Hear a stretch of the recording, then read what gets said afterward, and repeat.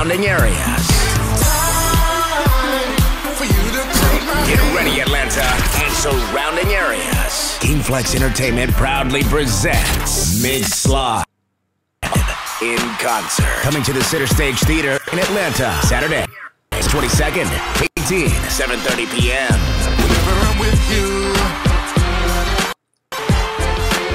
Mink Slide is bringing the funk party to Atlanta, performing songs from their critically acclaimed album, Egyptian Musk. Also performing special guest, the APX. Atlanta. Don't miss the Funk Party concert event of the year. Get your tickets to see Mink Slide live in concert with special guest the APX at Ticketmaster.com. For more information, go to minkslide.com. Yo, yo, what's up? How's everybody doing?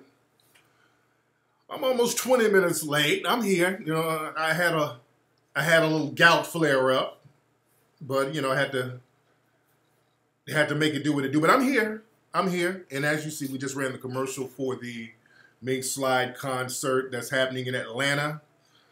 Everybody needs to come on down to the Mink Slide concert in Atlanta. It's the first time turn, tuning in. That's what's up.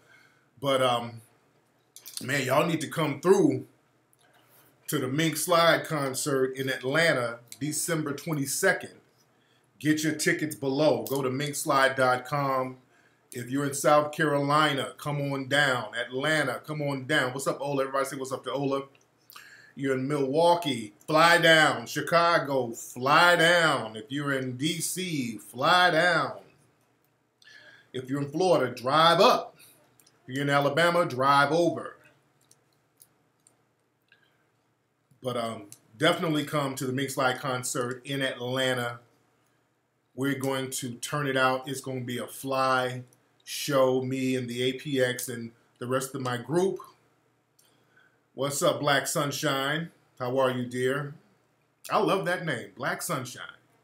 I like that. That's a cool ass name. That sounds like the name of a group. Black Sunshine. That's a tight fucking name right there. You dig? So yeah, go to minkslide.com. I know everybody in Atlanta need to have their tickets by now. You dig? You said Dr. Kaba was on the Black Channel. Shout out to um, um, Jason Black and Brother Kaba. Kaba is always bringing the heat. I got to hear it. I know he was probably spitting some hot fire as usual. I know my man. Um, um, when is the Black Authorities movie coming out? Race War. When is that coming out? When is Race War coming out? You and your boyfriend are making arrangements, Erica. That's what's up. Y'all come on down to Atlanta. Y'all, that's what's up.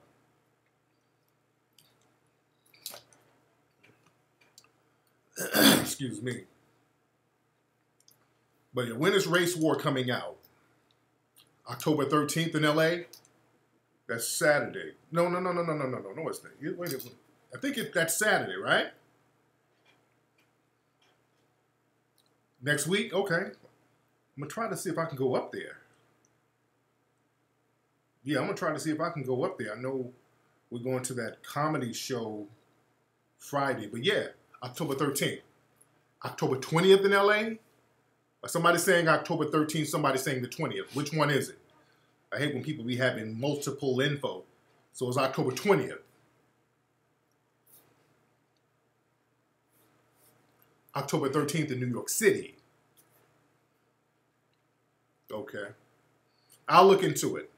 I'll look into it. But you guys check out Race War by um, by Jason Black. Check that out. And if you know Brother Kaba is in it, you know it's always gonna be hot fire.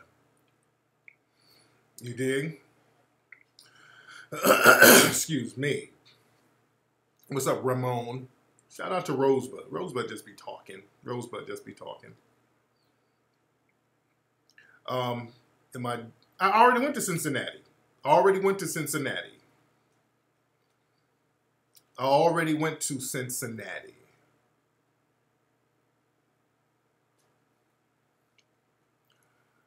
But um,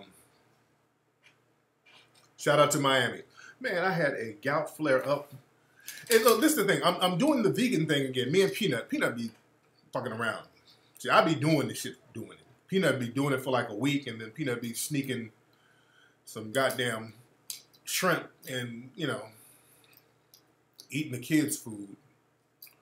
So I've been doing the vegan thing for like like a week now. I've been doing it for a week now because um, there's a sister in the Hidden Colors Five, Queen Afua. She's we like on a little thing that uh, something that she has. It's like some powders and herbs that we take that she sent, and it's supposed to be like a 30 day type of thing.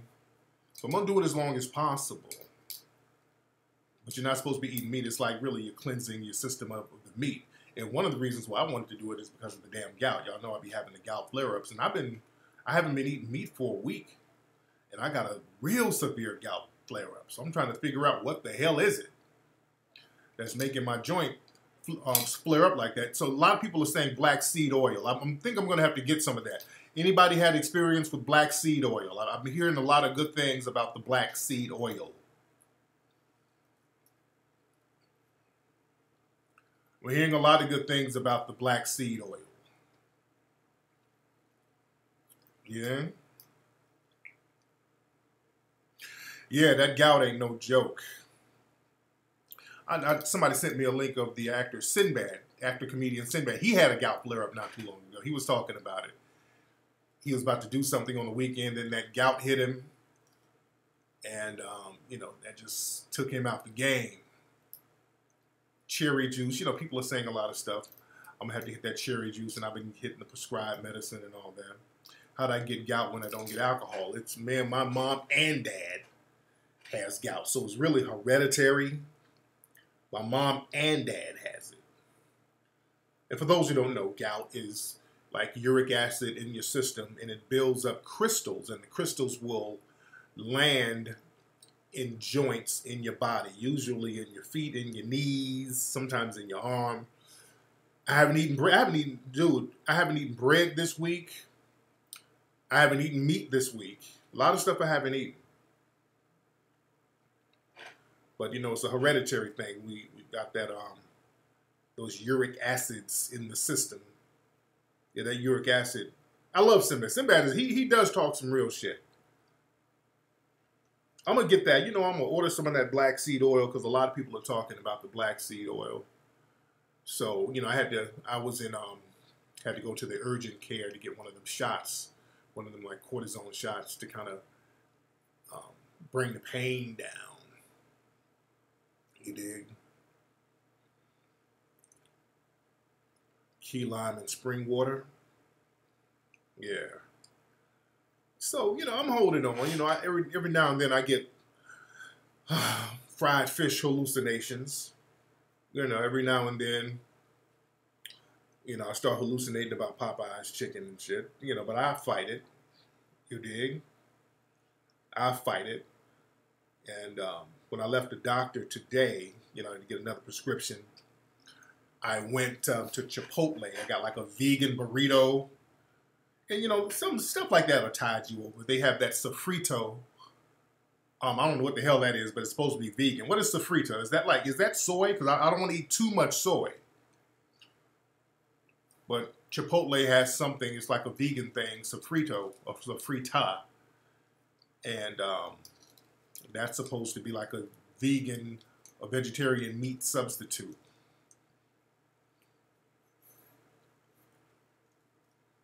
Sarsaparilla for gout. You think you got gout on the knee? Sofrita is soy? Okay. That's dangerous. Yeah, I, I want to kind of stay away from that. And that's the thing. Turmeric, try turmeric capsule. Sofrito is onion, celery, and carrots.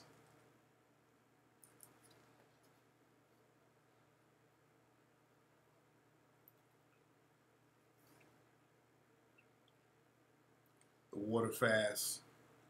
Yeah, so yeah.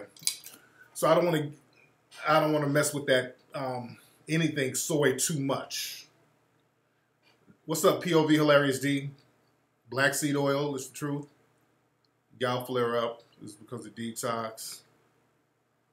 Your body flushing out toxins during a detox. Okay, that's yeah, because you know, no, I, I noticed that POV, and that's a very good point. A lot of times when I do like a juice fast, or when I do um, a, a meat fast, I'm getting off meat. I start getting a cra- I get crazy ass gout flare ups.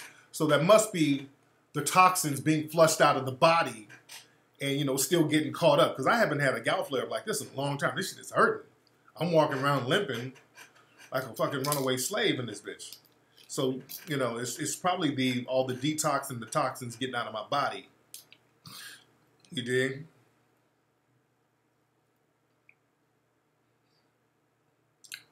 Turmeric. Oh. Y'all email me. Let me know what kind. What's the best kind of turmeric to get? Black seed. Okay, I'm, I'm gonna order all that stuff on Amazon tonight. By the way, I was uh, like I said, I went to um, Chipotle because those burritos will fill you up. Because a lot of times when you're trying to do the vegan thing, you know, a lot of shit you don't get filled up. And I haven't. I try to stay away from snacking on a whole bunch of shit. Because last time I did the vegan thing, I was um, I wasn't messing with no meat, but I was snacking my ass off everything. I'm like, well, shit, this cookie is a goddamn vegetable. Shit, that piece of cake is vegetable. Shit, flour comes from the earth. I'm just trying to justify eating all the non-meat garbage. I'm like, well, shit, hot Cheetos is a vegetables. They look like carrots. So I'm I'm eating a gang of junk, mind fucking myself because I ain't eating meat. I'm eating just as worse. So I ain't doing that this time. That I'm not doing. You dig? Sour sop. I, I want to know where I had sour sop in Haiti. Shout out to Haiti. My brothers and sisters in Haiti, they've been hit with an earthquake, and I get on that in a minute. Remind me to get on Haiti the brothers and sisters out there in the earthquake in a minute. I do want to touch on that. But um yeah, but I went to Chipotle after I left the doctor's office today to get one of those vegan burritos and that that time me over. You know what's funny? I was in I was in um when I was in Chipotle.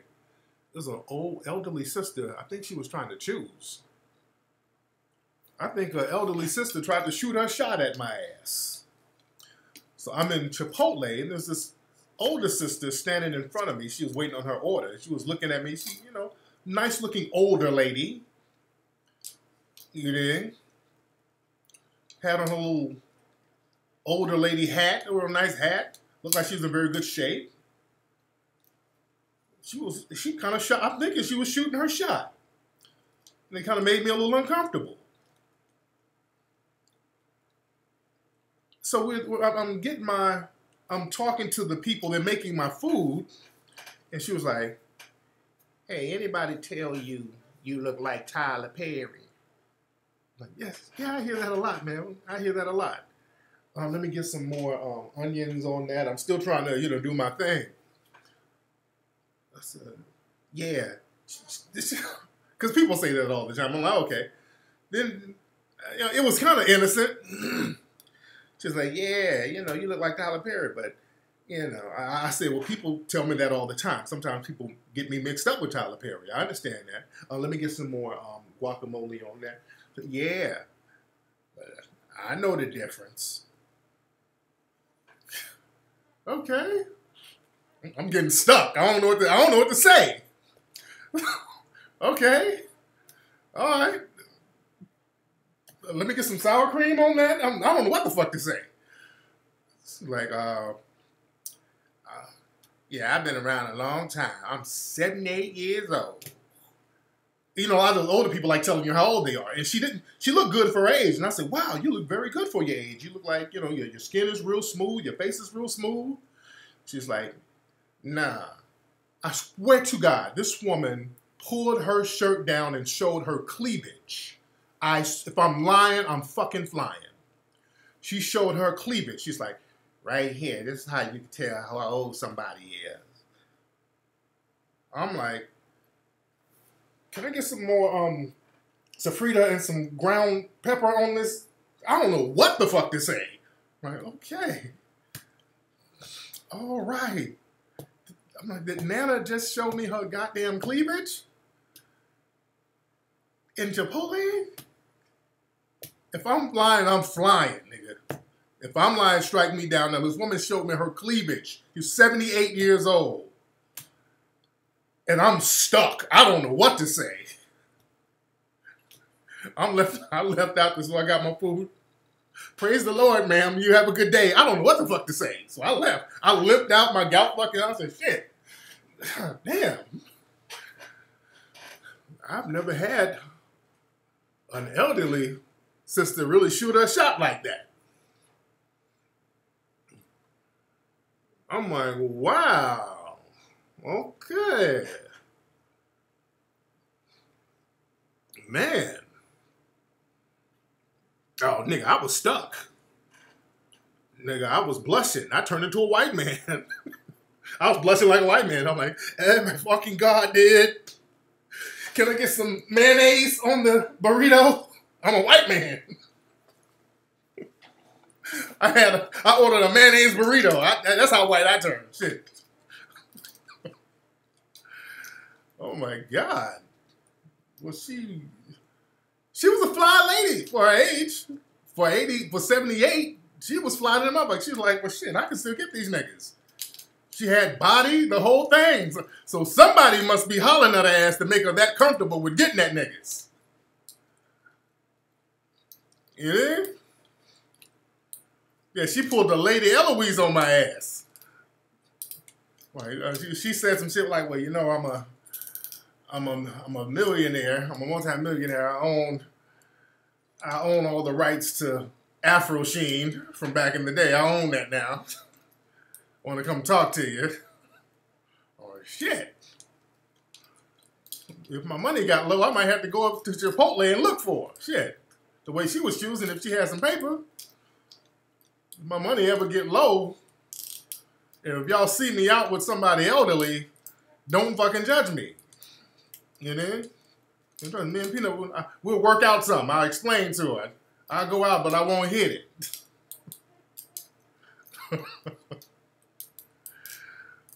Man, but she was a good looking sister for 78. She's 78 years old. She did have body, and I ain't saying that I'm when she showed the cleavage, I'm like, what what what is she what is she doing? I'm thinking that did she just bust the cleavage out? Like, damn. She was trying to show me, like, look, I ain't one of these bitches who get Botox. She like, my whole body is fine, nigga. That's what she was showing me. Like, look, all this is fine. This ain't no Botox or no um, shots and all this shit. This is fine, good living if you want to get up on it. Lord.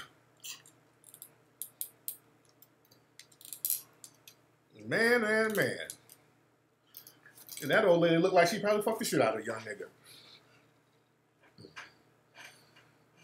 That old lady take off that bra, titties be smelling like mothballs and be riding all types of dick. You better not sleep on them old ladies. He's one of them old ladies that be taking 10 mile hikes in the morning. He's one of them and drinking rainwater. So that lady probably got some tricks up her damn sleeve. I don't want to know. Y'all let me know. Man.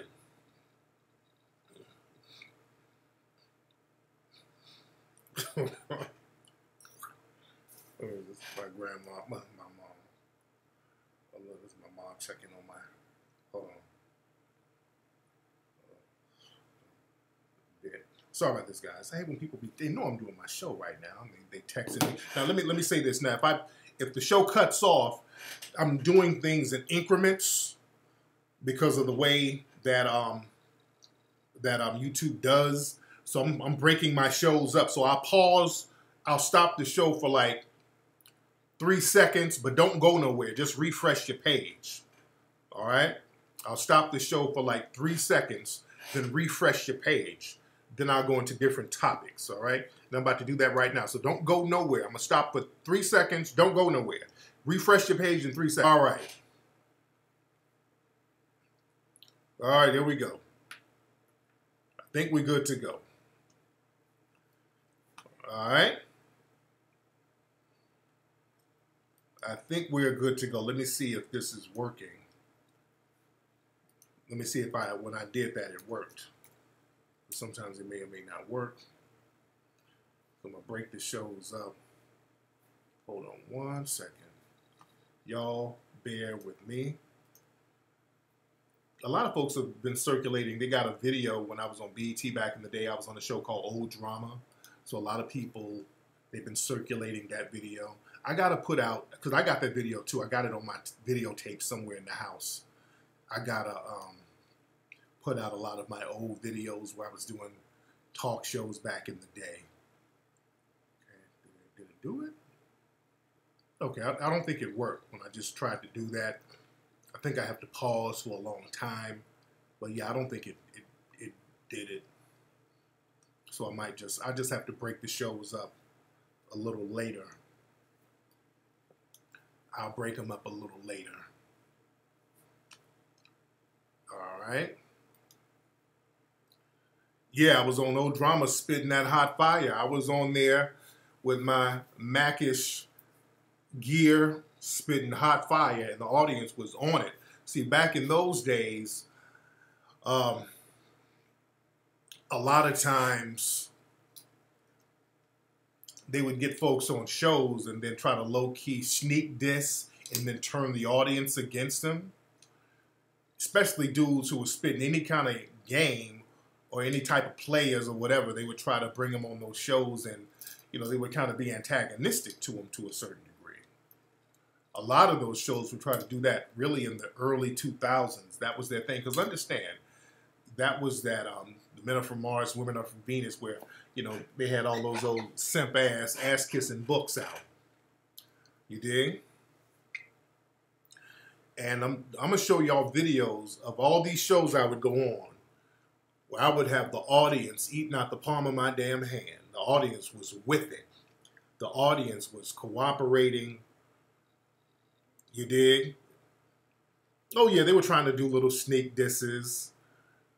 I didn't even have to see. That's how you sidestep the bullshit and you stay on point. You stay on track. Not only were they trying to sneak this, they were trying to. They had people planted in the audience trying to do little sneak disses. They would plant people in the audience and try to have them to sneak this. So I would sidetrack all that and keep it real one second. Sorry about that, guys. Some stuff from Queen Afua. Some Queen Afua stuff. So I'm gonna show y'all some. Um, do I hate Taylor Swift? What the hell are you talking about, bro? You like my shirt? Thank you, man. Y'all get your Mink Slide shirts at minkslide.com. But um, also, when I was on Jenny Jones, they tried that on Jenny Jones. I had the audience all on my side. They didn't like that. They didn't like that. I kept flipping it on their ass, and I have the audience on my side. And I remember being up at BET and behind the scenes, but backstage, it was so janky. Oh, it was run so fucking janky and bootleg backstage. You did? Yes, I was on Jenny Jones. I gotta I gotta get that that that tape for you. Um, let me talk about Haiti.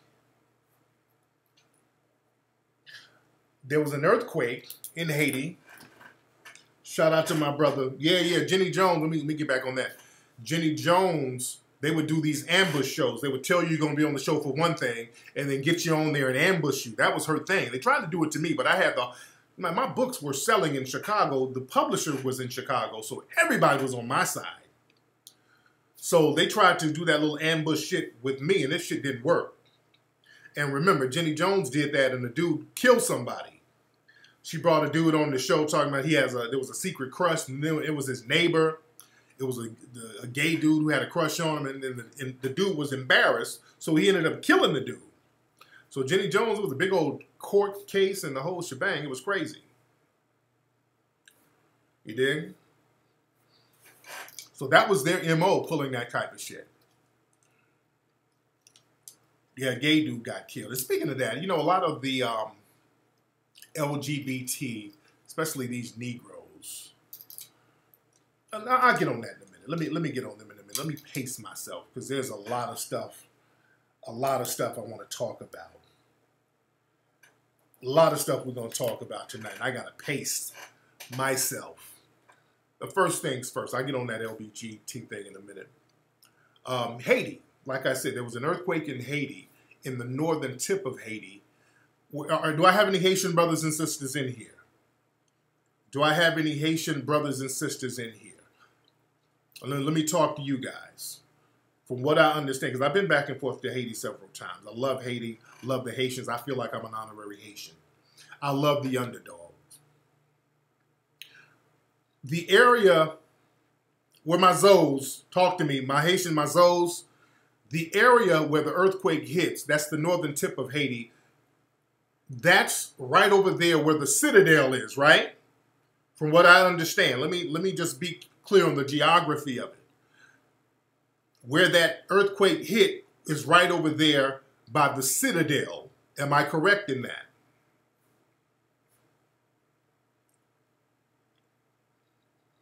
Where my people?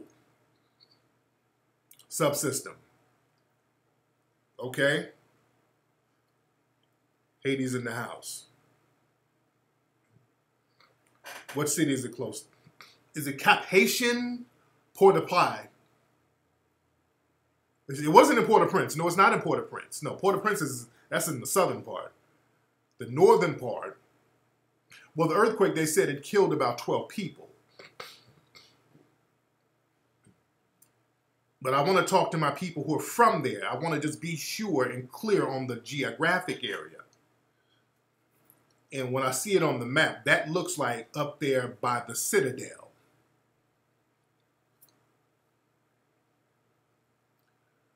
It's near Nicoy, Haiti. is near Nicoy.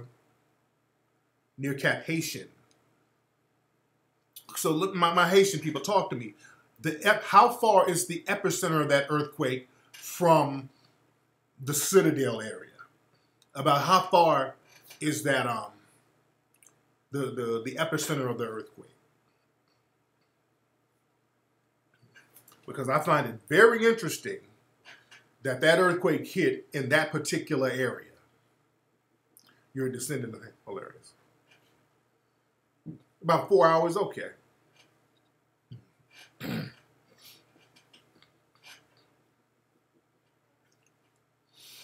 because I'm, I'm gonna be real. I feel funny style about this earthquake. I, there's a lot of them that I feel funny style, but I'm putting on the tinfoil hat. I feel I find it interesting. Number one, this smells like HAARP. It smells like one of those man-made earthquakes. It just does. It just does. It just smells like one of the man-made earthquakes, man. And they do have the technology. I'm not. I'm not fully with the tinfoil hat. I mean, they have the technology to cause earthquakes. They do. And the white supremacists, they use these things as weapons. They weaponize this stuff. So they're always weaponizing the economy, using any type of military force, or using agricultural warfare, environmental warfare. They're always doing something to Haiti. So when you see something else happening to Haiti, I'm like, okay, what they doing? All right. You understand?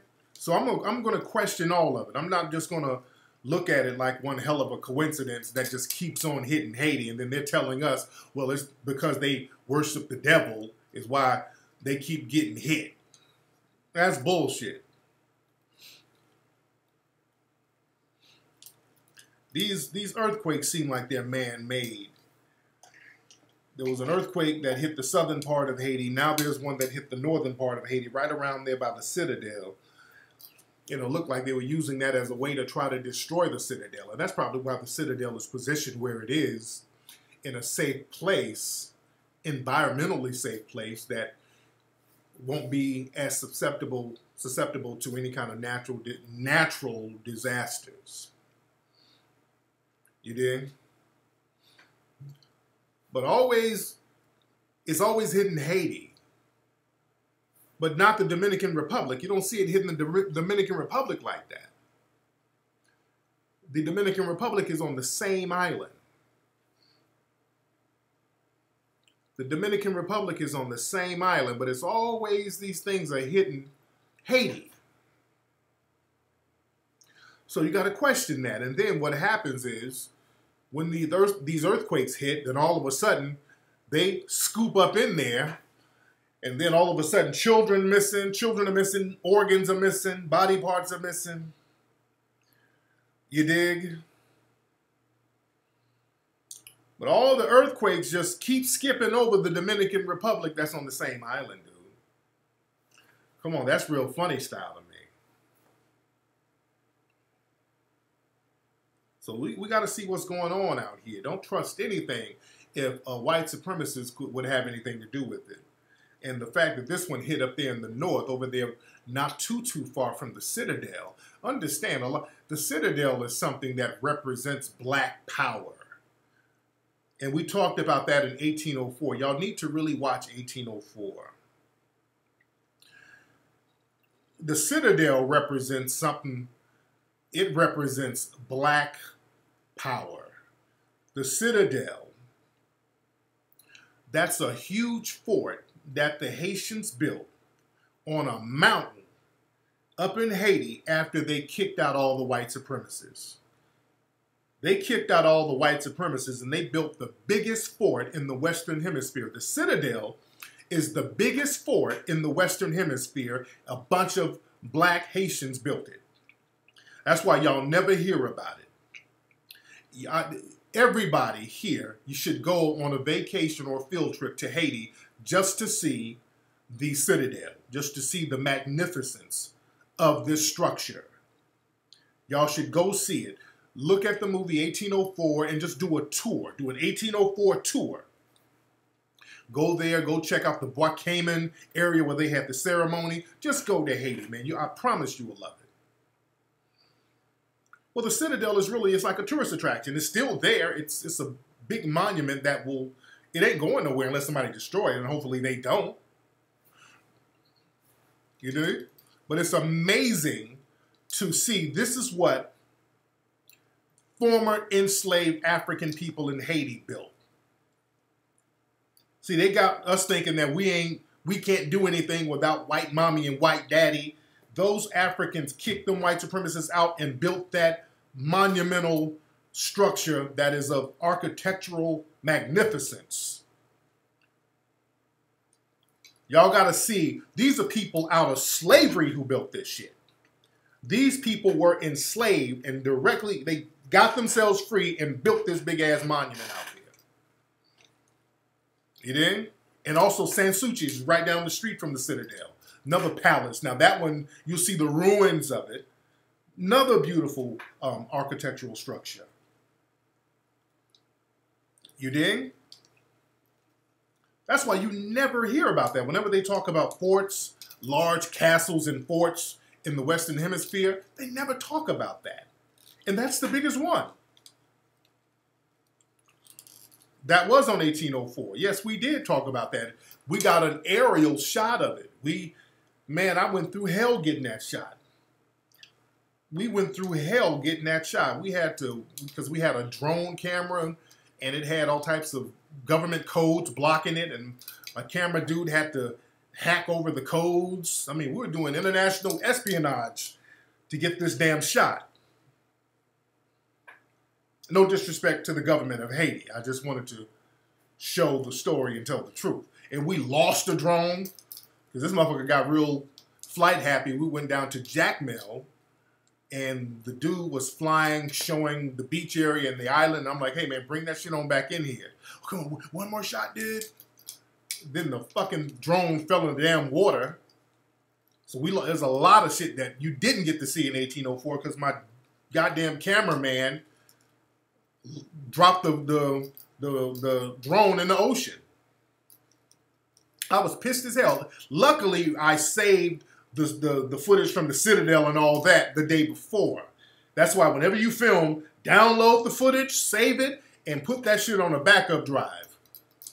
You understand? That's why you always, the, the day after, save that shit. Because you never know. Man, y'all don't understand how pissed I was. boy, y'all don't understand how pissed I was because I'm like, we flew over there for those shots. That shit wasn't that wasn't cheap.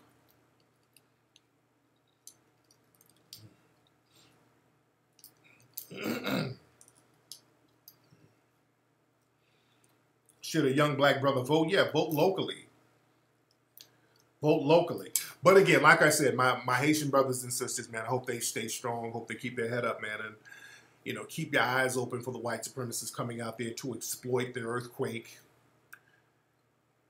Keep your eyes open for that. Um, but speaking of voting, um, it, it's important to vote local so that you know you can get a power base, uh, uh, um, a political power base locally, and understand how these white supremacists own code. You know, you got Kavanaugh. Kavanaugh made it to the Supreme Court. We knew that was going to happen, and what happened with Kavanaugh, I knew he was going to get in there when he had that woman behind him deliberately throwing up white supremacist hand signals. He had that white supremacist, that woman was throwing up white supremacist hand signals. So he he was letting people know, get on code with putting me in the Supreme Court. Get on code with putting me in the Supreme Court. Basically, he was saying, hey, look, y'all put me in here Forget about all the scandals. I'm team white supremacy. So overlook that. And it worked. They put him in there. Understand the in the media, the fact that they were so quiet about the woman sitting behind him throwing up those white supremacist hand signals, the fact that they the media ignored that. I said, okay, he he about to get in. All this old fake outrage about those women, they knew that ain't nobody tripping on him in these sexual abuse allegations. Uh, white dudes don't get those allegations stuck on them. White dudes don't get those, they don't get them shit stuck on them. That's how white supremacy works. You get to sexually abuse anybody you want to. That that comes with white supremacy. Sexual dominance. Sexual dominance and white supremacy goes hand in hand. When the white supremacists came out of Spain at first, going all around the world, they were sexually dominating and raping people. You know, so that goes hand in hand. And the white women are perfectly cool with that if white supremacy is maintained. Remember, over 50% of the voters, those white women voted for Trump. Also, those white women out there were caping for Kavanaugh. They were caping for him. See, they ran all that bullshit game about Cosby. It ain't about sexual assault. It's about white supremacist domination.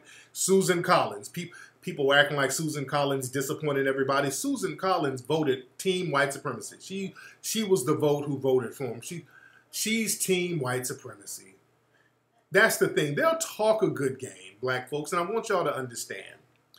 These people will talk a good game in your face, but behind closed doors, when, when it comes down to it, they're going to vote team white supremacy. All the logic goes out the window. You're like, damn, this dude's a sexual predator. This dude is this. He's bad on this. He's team white supremacy. You understand? Black folks think that you're going to try to get allies with these people and they're going to negate white supremacy for you with your dumb ass. All you dumb niggas who was out here yelling about Cosby, oh, he a rapist Negro, especially these blabbity blacks and these roots, bedwenches, and coons. Oh, that damn Bill Cosby's a goddamn rapist. Me too. All right, Bill Cosby's in jail. All you Negroes huffing and puffing about Bill Cosby. How does that help you as a black person? Other than you getting a personal pat on the head and a personal plate of biscuits. I'm talking to all these Negroes woofing about Cosby. All these Negroes hollering about how Cosby should go down, Cosby's a serial rapist. All your woofing and huffing and puffing about Cosby. Okay, he's in jail. White women are about to cash out. That Me Too movement, the Cosby going to jail, all that benefits white women. These are white women who are about to get cashed out. The Gloria Allred, she's about to get cashed out. All these other women whose cases have been thrown out of criminal court, they're still filing civil cases. This one woman who was in the Playboy Mansion talking about Bill Cosby um, sexually raped her or assaulted assaulted her in the Playboy Mansion on a certain date. She made a mistake and named a certain date and found out Bill Cosby wasn't even in town. So it was thrown out. The, the police just threw that shit out. But a civil court judge allowed her case to go forward. Even though they know that Bill Cosby wasn't even in town. They're still allowing these people to run game and defraud and, and put up these frivolous lawsuits because they're all on code. The white women are getting some out of it. What a unique Chloe going. That's her name. Moist Lamont Hill, Jabed Winch Lemieux. What are you got, Fraudinista? What are y'all getting out of all this shitting on Cosby and making a big wolf out of shitting on Cosby? What y'all getting out of it as black people? Except you just trying to show out for white mommy and white daddy so you can get a biscuit flung your way. What are you getting out of it? How does Cosby going to jail work for you?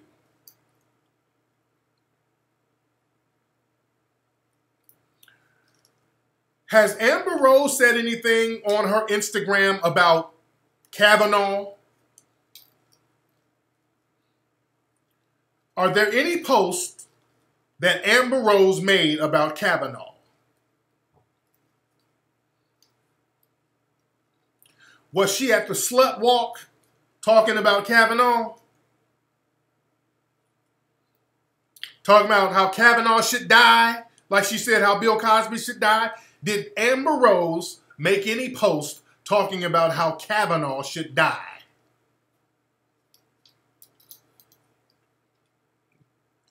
You feel me? Now we, see where, where these people really are. It's all about white ass kissing, them getting some individual butter biscuits for themselves. That's some off code coon shit. That's off code coon shit.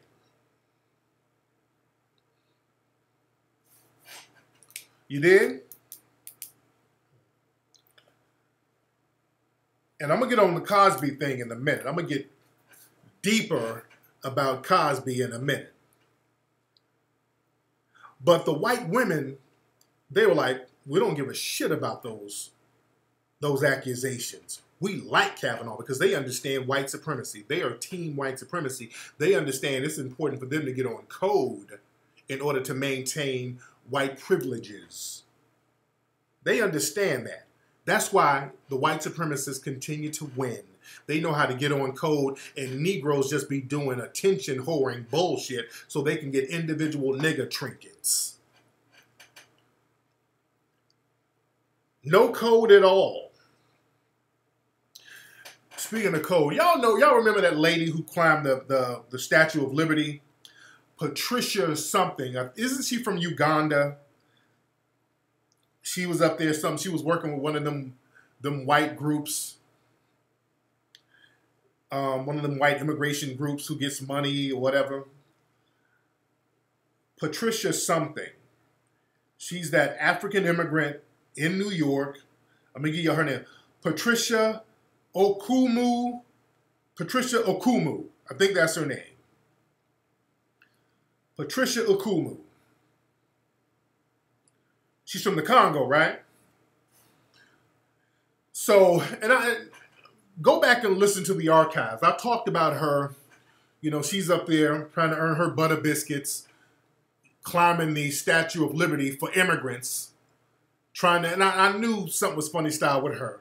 I told y'all months ago, the day she did that, I did a broadcast. I'm like, look at this buck dancer trying to get some brownie points, jumping all on the Statue of Liberty, risking her life for basically Hispanics and other liberal white people so she can get some brownie points.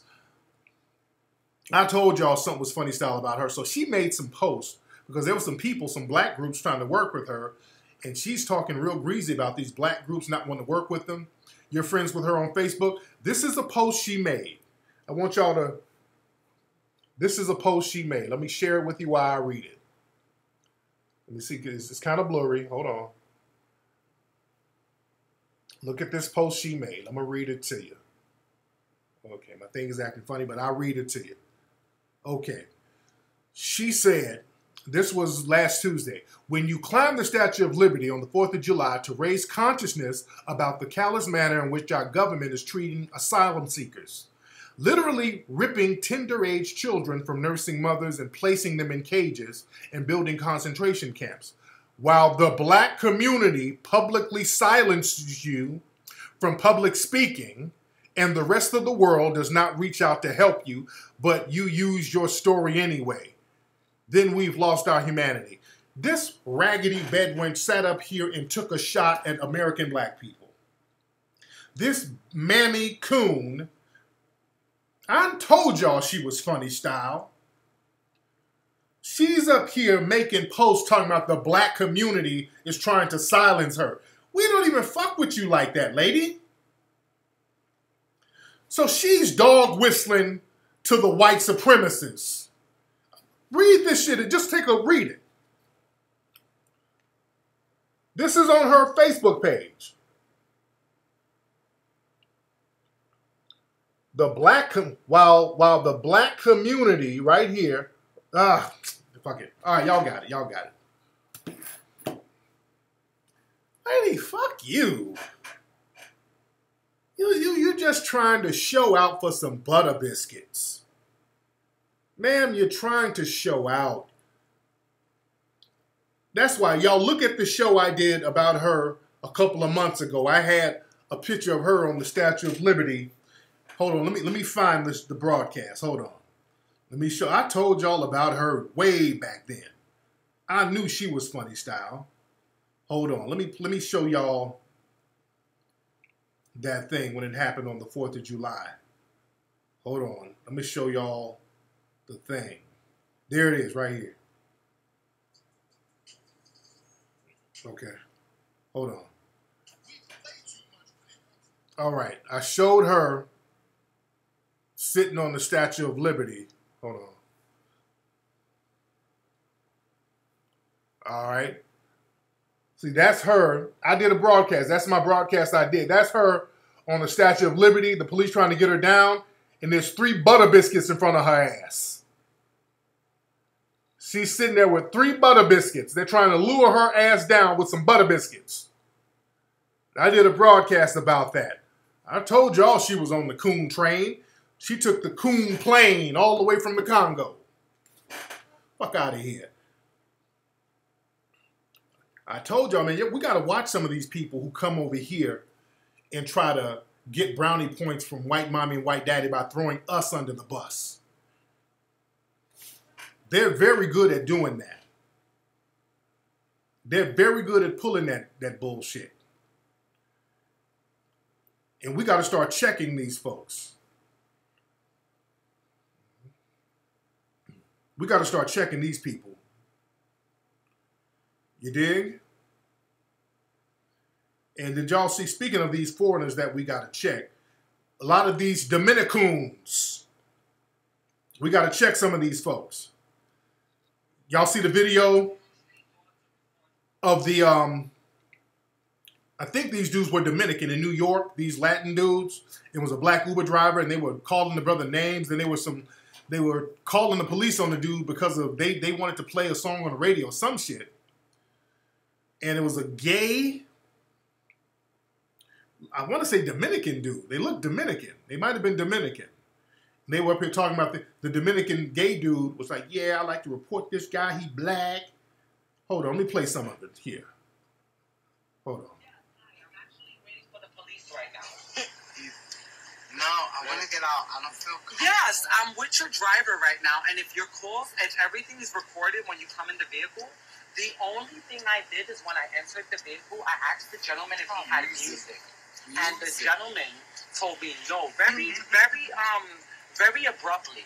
So I asked him, "Do you have music? Are you sure?" And he got really defensive. Oh my god! Maybe because I'm not black or anything like that, but the gentleman is very. He stopped on the corner. I had to call the police. I've been a Lyft driver for a very long time. I so I mean, it goes on. This this goes on for like 16 minutes. Oh. So this gay dude who's a, a Dominican, I think, he's the Dominican. He started. He said that he was a Trump supporter. He's like, yes, I'm a Trump supporter, and this black man is doing this. Let me tell y'all something. All y'all Negroes who go up here to the root and all these places who think that your sexuality is going to get you to trump your blackness, you are sadly mistaken. A lot of black people think by claiming a camaraderie with cats like that, you think that your blackness is going to be overlooked for your sexuality. And these people from Latin countries and people who from the, from the LGBT community, they always put their race before their sexuality. This is why there's so much discrimination and white supremacy within the LGBT community. And a lot of black people are embarrassed to admit that because see, you become the pet Negro who gets to be flaunting around, which is white supremacy itself. The fact that they got a pet Negro. See, you're a charity case. See, black folks, we we love being the charity case of these people. We love being the charitable uh, make a wish Negro. You get around these people and they, you'll be the one black friend, so they'll parade you around and basically give you charity, little bullshit nigga trinkets, leftovers. So black folks, we love that type of shit. We think we special. You become the charitable make-a-wish Negro. Which is basically you're a pet. You're nothing but a pet. So you think you special because you get to be the pet. But these same people would go out here and shit on all other black people. And their excuse is, well, hell, I got a black friend that's, hell, he practically lives with me. How can I be racist and I got that one black friend that I fuck every now and then? So I'm not racist. I fuck my black friend all the time. So how am I racist that I won't let all you other niggas in this club? That I won't let all you other niggas move into this gay community that's with white and Latinos, or white Latinos too. You dig? Black people got this thing real bad where we love being the charitable pet Negro around these people. Because you keep letting some of these Dominicans, um, you let them keep talking. You out here marching with them in the parade and you twerking and letting them fuck on you and all that. And then when they go home, they're Team Trump. They put on a Make America Great Again hat. And you think, yeah, Fuck that. I'm an intersectionalist. I'm intersectional. They're like, look, my, my nigger friend gets on my nerves. They talk about you behind your back like a dog. In the video, he was also saying Black Lives Don't Matter. Yeah, he was saying a whole bunch of racist shit. Your gay Latin friend.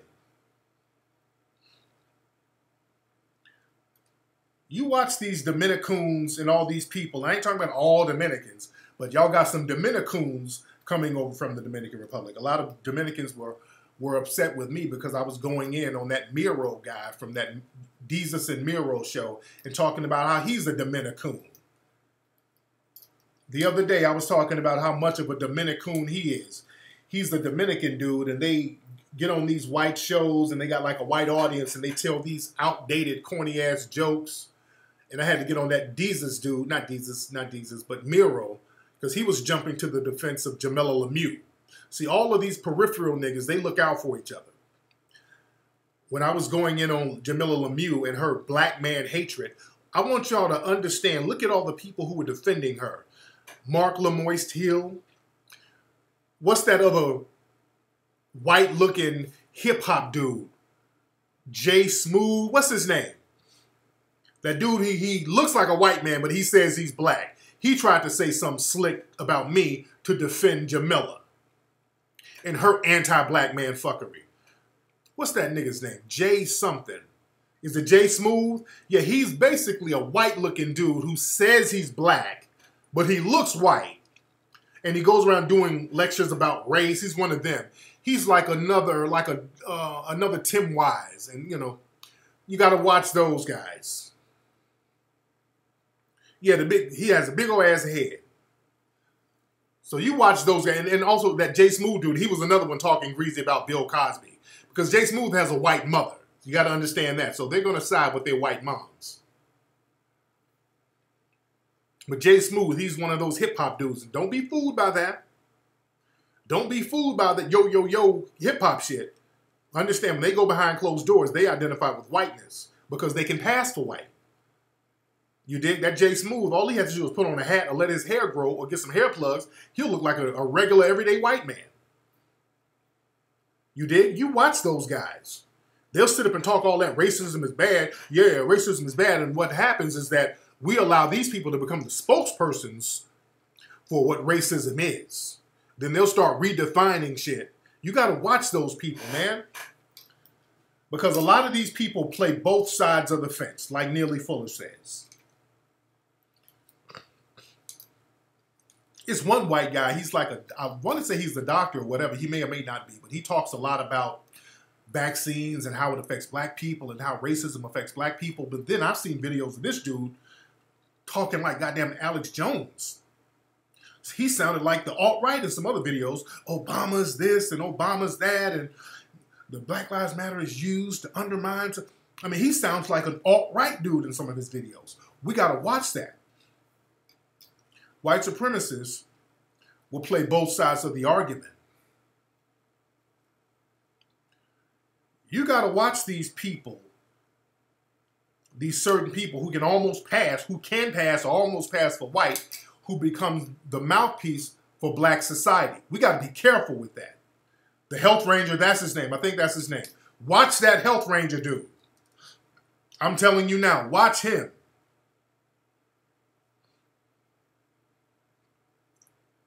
But these guys will talk up a good game and they will flip it. Laci Green, again, that's another one.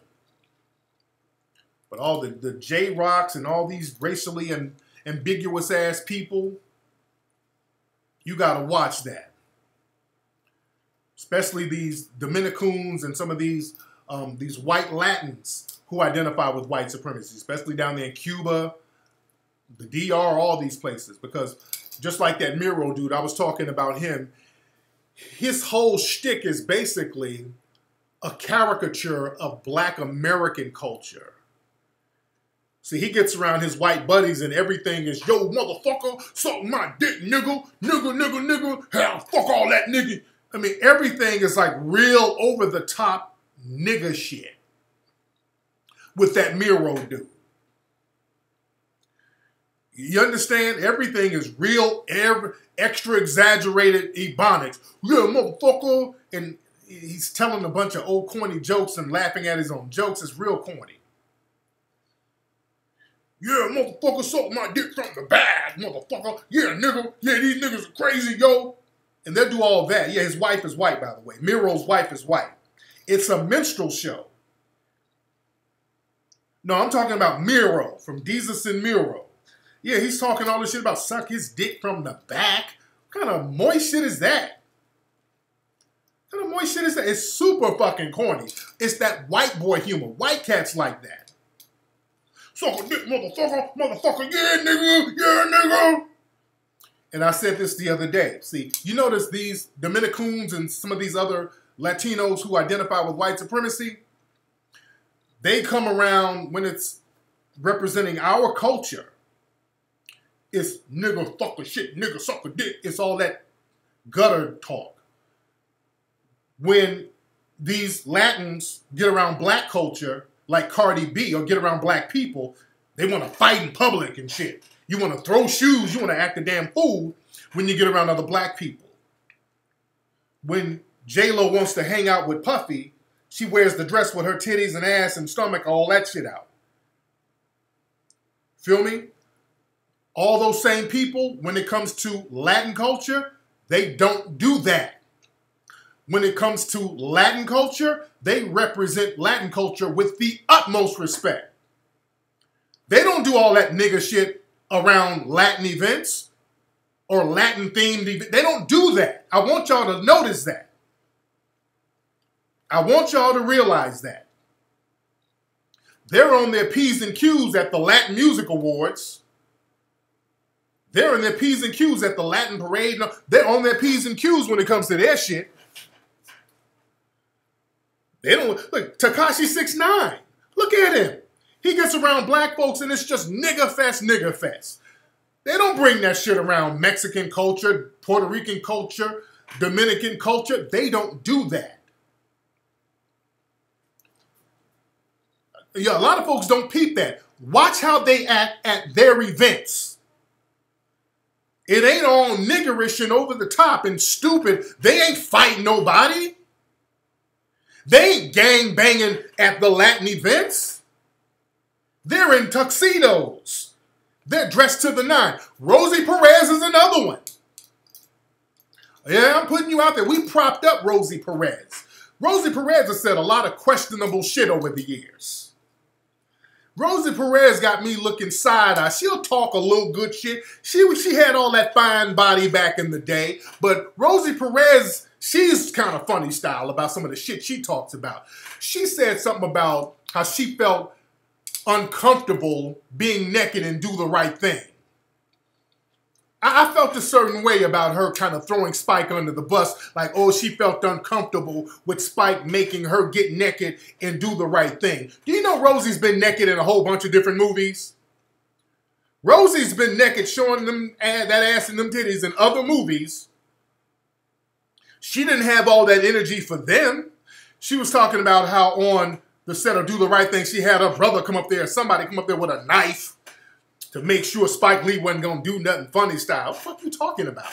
Did she marry a white dude? I don't like that.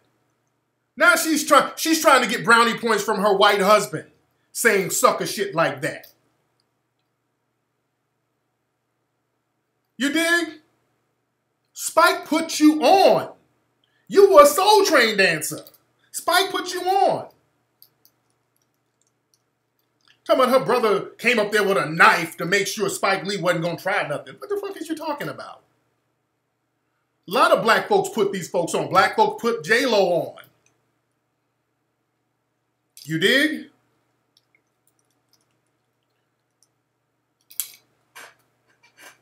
Man, she she she busted open in other movies. She wasn't was she scared and do the right thing?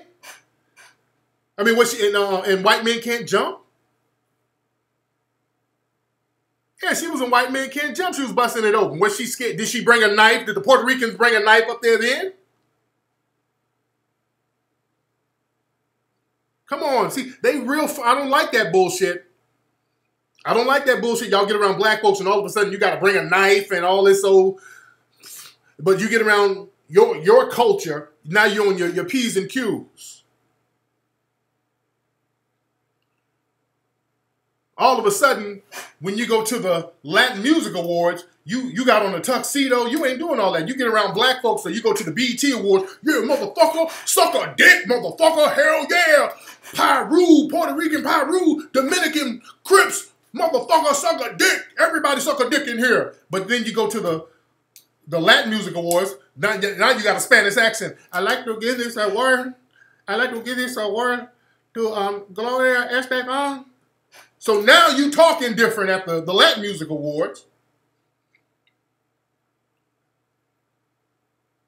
But when you, it's all about us, now you you done showed up to the black shit with a thong on, your pussy hairs out. Yeah, motherfucker, everybody eat this pussy. Everybody can eat this pussy tonight. Yeah, but then you go to the Latin Awards. I like to give this award. I like to give this a, the lifetime achievement to Celia Cruz. I like to give it to um, Julio Iglesias. Now you talking with a fucking accent. Now you know how to act right. Now you done calm that energy down a little bit. Now the energy is calmed down. You get around black folks, come on, bitch, I'll kill you with my shoe, bitch. Motherfucker, I kill you, black bitches. You roaches, you cockroach black bitches. I kill all of you. Suck his dick. Then you go to the Latin Awards. I like to give this award to Tito Puente. I like to give it. All right.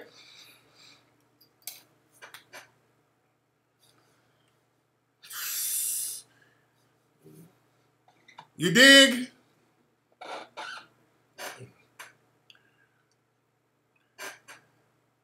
Now you got. Now you know how to act. Now you done you ain't in the whole hills. You ain't you ain't you ain't rocking a red bandana. You ain't gang banging. Now you got on the tuxedo. I like to get this the word to Carlos Santana. I like to give you the word. It's so so special. Like, the the culture is so great. I love it. I'm so proud to represent. And please, give me a break. You did? But yeah, Rosie is another one. You watch these folks. You watch these people, man. Yeah, I know Cardi B be on that shit. I do know Cardi B is on that. I, what, when is the next Latin Music Awards coming up? When is the next Latin Music Awards coming up? Hold, let me see if I can pull up something. Hold on. Hold on. Let me see if I can put pull up something. When is did the Latin Music Awards happen this year already? Hold on, let me see. Latin music. Hold on, I'm, I'm gonna see if I can pull up something. Did it happen already? The Latin Music Awards? Let me see. Let me see from last year. I'm trying to see.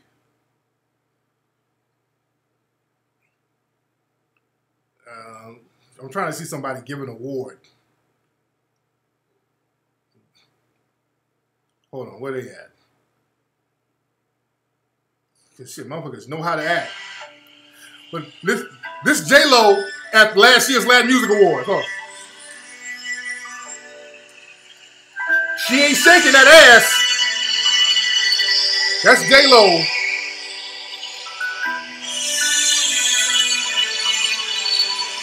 She got a symphony band.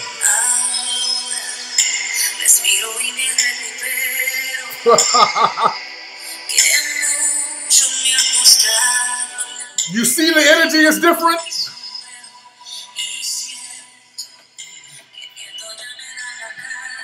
Oh, J-Lo ain't shaking that ass now.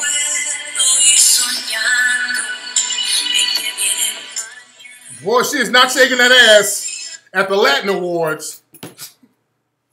She got on a full gown with a symphony. It ain't all that dancing and twerking, none of that. Ole los quesos lados, los miras, careros. She ain't popping that ass at the Latin Music Awards. Y'all go take a look at the Latin Music Awards and see how motherfuckers be acting. They be on their best behavior. You dig? They be on their best damn behavior.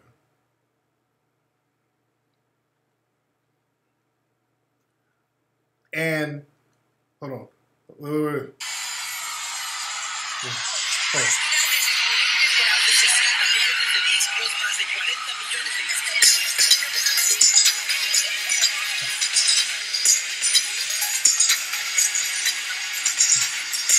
Oh, Enrique Iglesias, hold on, hold on.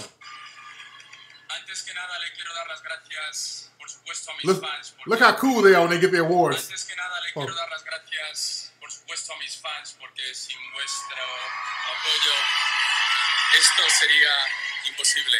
Así que muchísimas gracias eh, por todo, por todo vuestro amor. Os quiero muchísimo. También le quiero dar las gracias a Telemundo, a los Latin American Music Awards, a Sony Music, a mi manager eh, Fernando Giacardi.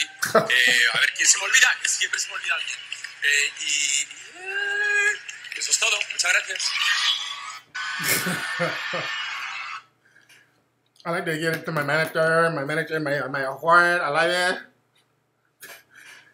I like to give it to my manager. I mean, they, they are so on their P's and Q's at those award shows. Everything is, oh man, they act right. Man. Man, man, man.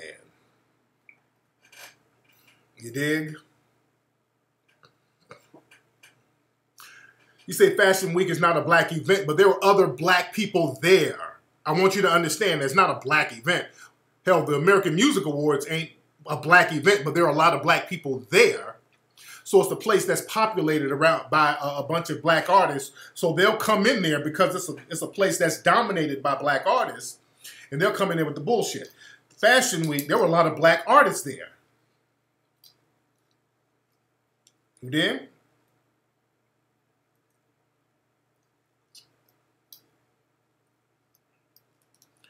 So the thing is, it's up to us. See, this is why we got to stay on code, be on our P's and Q's so all these other groups don't come in with their fuckery. Because right now there's a wave of wokeness that we we got going on. So we're we're we're pushing the coonery out as native black people. We're pushing a lot of coonery out, but a lot of these other people are coming in with their fuckery. So we got to be very cool. We got we got to be on code. I remember back in the 90s when we were on code when they would um I remember I think it was the Soul Train. It was one of them award shows where they announced Vanilla Ice and everybody in the audience booed. They were like, "Get this bullshit the fuck out of here." That's that. Everybody was on code. Everybody was on code. You did well. People, there's an awakening there. Black people are waking up, and more of us are getting on code. More of us are getting on code.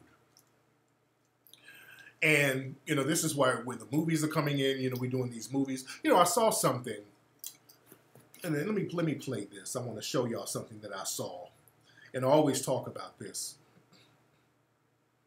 Hold on one second. Hold on one second. Let me show y'all something.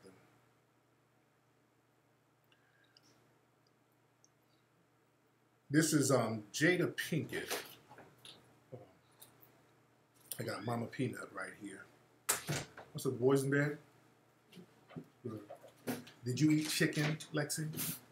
Not. You didn't? Lexi ordered um, some soul food. I, I just ate sides. I didn't eat the chicken. I ate some mac and cheese. I ate some rice and beans, some hush puppies. Very good. What'd you eat, man? Some jambalaya.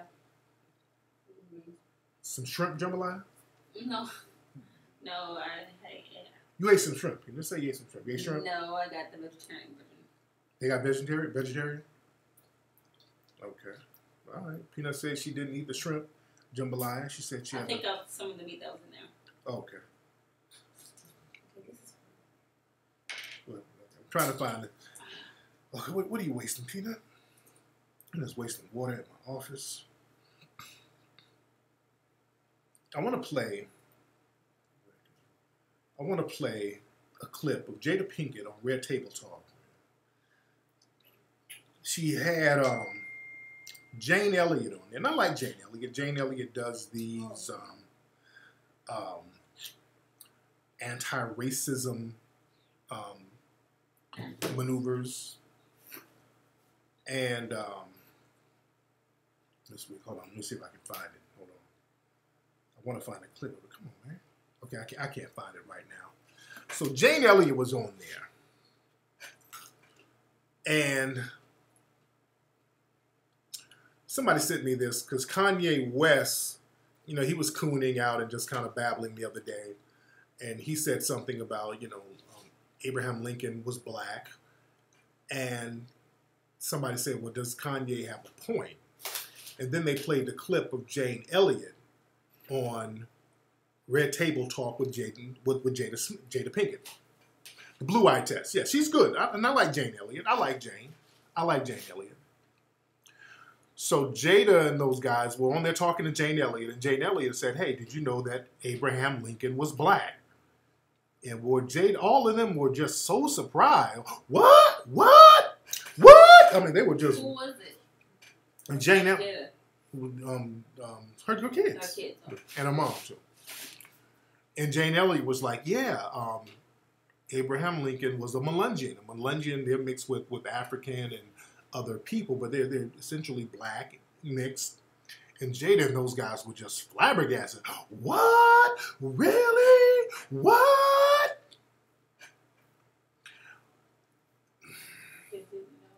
Now look, look, and I say this all the time. Y'all know we said this in Hidden Colors 1. We said this damn near a decade ago. Y'all know we said that damn near a decade ago. J- and I love Jada, but Jada was bucking them eyes a little bit. She probably obviously didn't Probably, the- really? Okay. Everybody doesn't see the numbers. It's just not. Most of them, They're not old like that. okay. Yeah. I mean, we, we said that damn near a decade ago. We broke that down a decade ago. That's, the only thing I don't like. I don't like when a white person says the same exact thing we say. If we say it, hey man, go look at Hidden Colors. Niggas and, and buck dancing coons and bedwinches and man, oh that's that's that's some hotep shit right there. That's some hotep shit. What is this hotep shit? It's always questionable when we bring it. When we tell you Abraham Lincoln was a Melungeon and they his opponents were portraying him as black, man, get that hotep ass shit out of here, man. I'm gonna have to see some evidence. What? But how come you ain't put no no references in the movie, man? Shit, you ain't put no references in there. How come you ain't do all this? Niggas got a million questions. If it's a black person saying it, Jane Elliott says the same shit. What? For reals? Lord Jesus? Is you? Are you serious? Are you serious?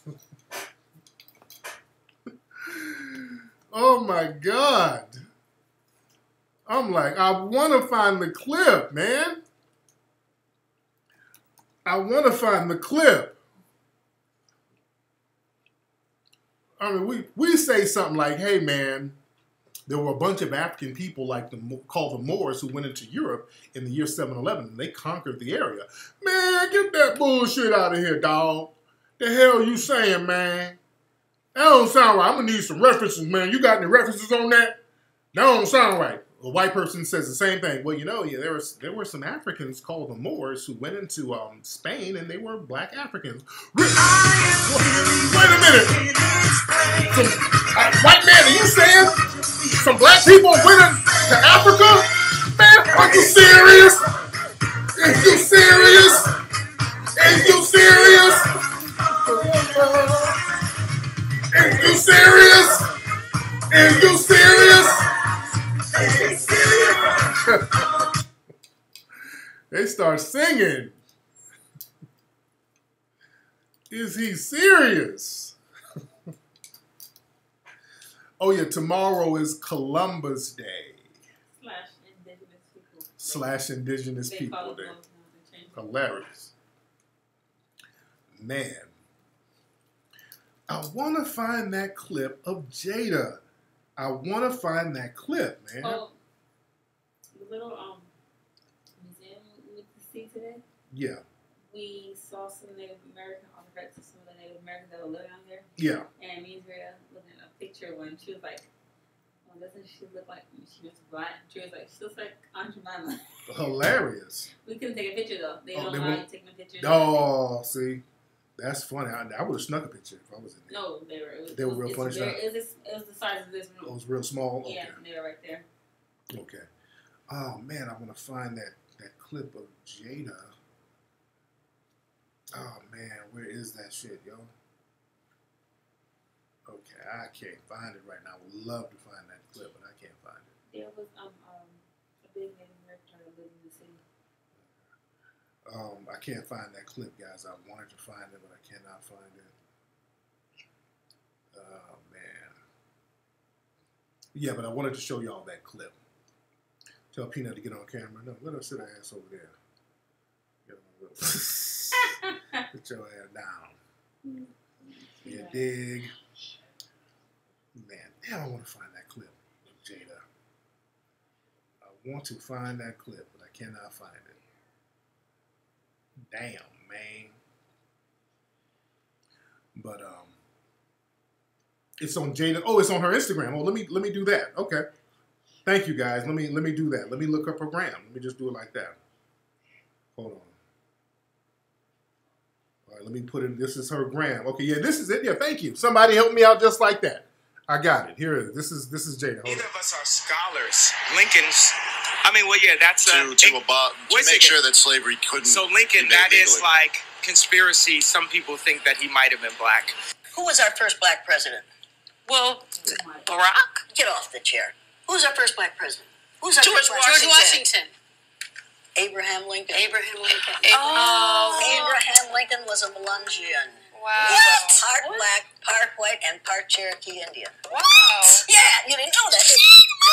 He was a superhuman human being because I don't know he how was to a spell Melungeon. it. M E L U N G E O N. M-E-L. Melungeon. Oh, there it is. There it is. What does it say? It says Melungeon ancestry of Abraham Lincoln. Ah, what? Really learning. Strange things happen. Jane, you so Yes. gangster. Neither of us are All right. All right. My eyes were bucking just a little bit. All right, but I give it to her. I, I give it to her. She she may not have known, but shit. A lot of folks act like that when somebody white tell you some shit we've been telling you for the longest. Oh my God. I love Jada too. I love Jada to life. But man, when when black folks say the same thing, boy, black folks gotta. Oh, let me I'm, let me research that now. Oh, I don't know now. Let me see that now. Let me research that now. You dig? Man.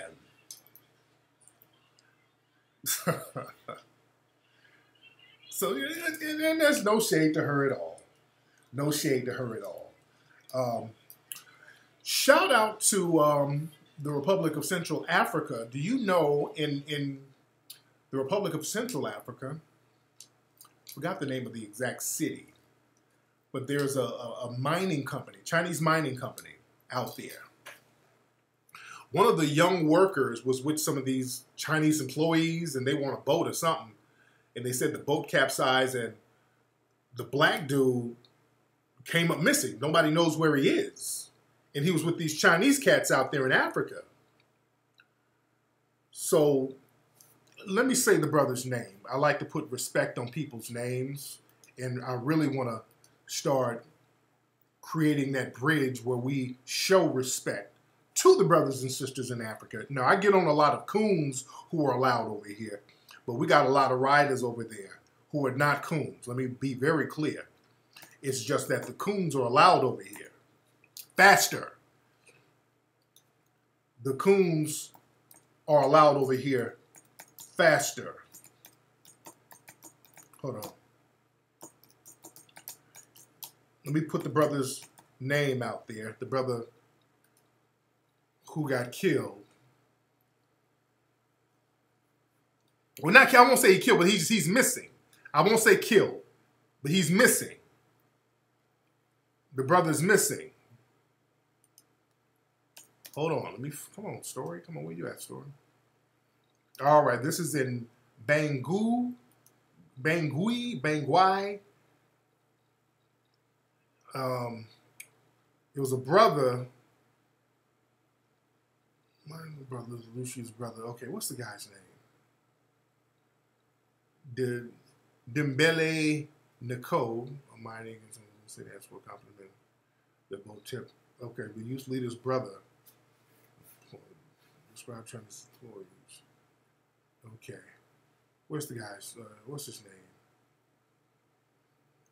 trying to find the guy's name. Hold on. Y'all bear with me. Bear with me. Let me find his brother's name. I'm, I'm going to speak his name. I'm going to speak this brother's name. Ah, fuck his brother's name.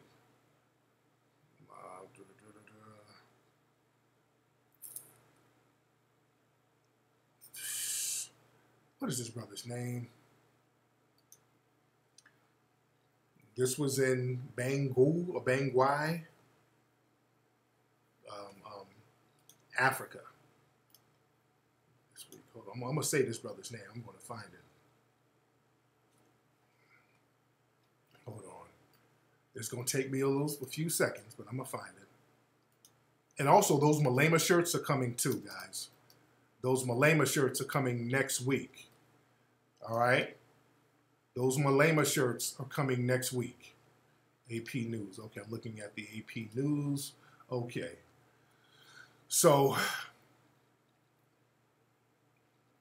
they keep referring to him as a youth. His brother, disappearance of a youth leader. They're not saying his name, they're saying his brother's name. His brother's name is Mathurin Dembele Dembele Nicole. That's his brother's name. So then I don't think they're releasing the brother's name. All right. I wanted to speak our brother's name because he's missing.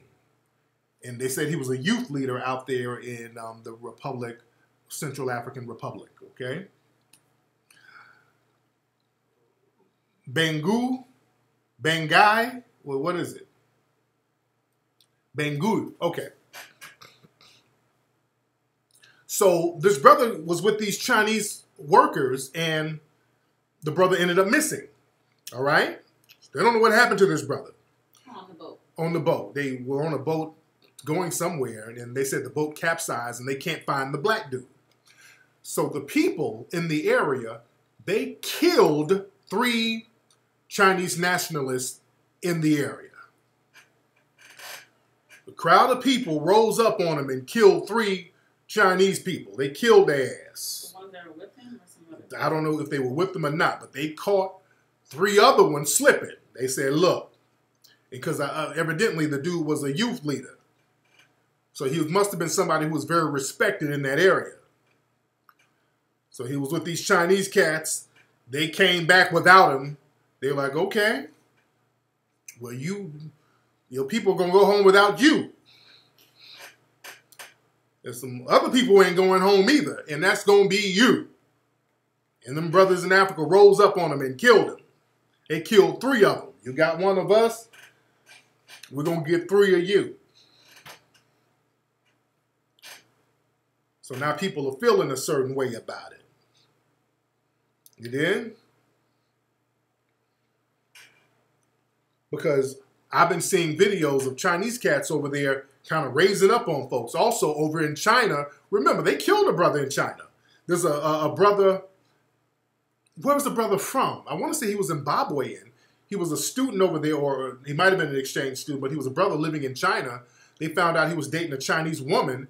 A bunch of Chinese men beat him with poles and killed him. So, shit, you know, that's what happens. Was? Yeah, what? What's that? Shit, that's what happened. He was from Zambia. Okay, that's what happens.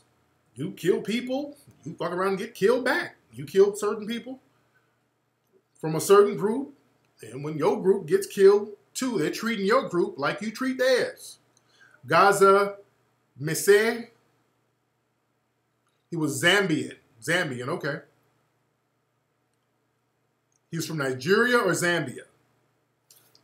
I'm hearing Zambia.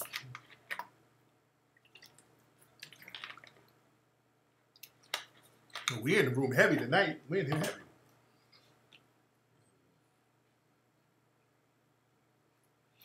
Boy, y'all, y'all play with that spirit of Ogun if you want to. The spirit of Ogun is real.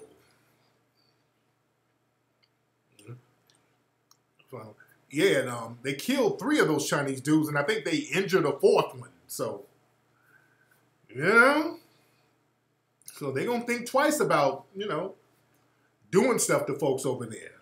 That's what happens. The Chinese took over an airport in Zambia. Yeah, yeah, man, they they, they dominate that area over there. Black folks got to be very careful. You got to be very very careful when you get one imperialist power to help you with another one. You got to be careful that they don't take you over. You did?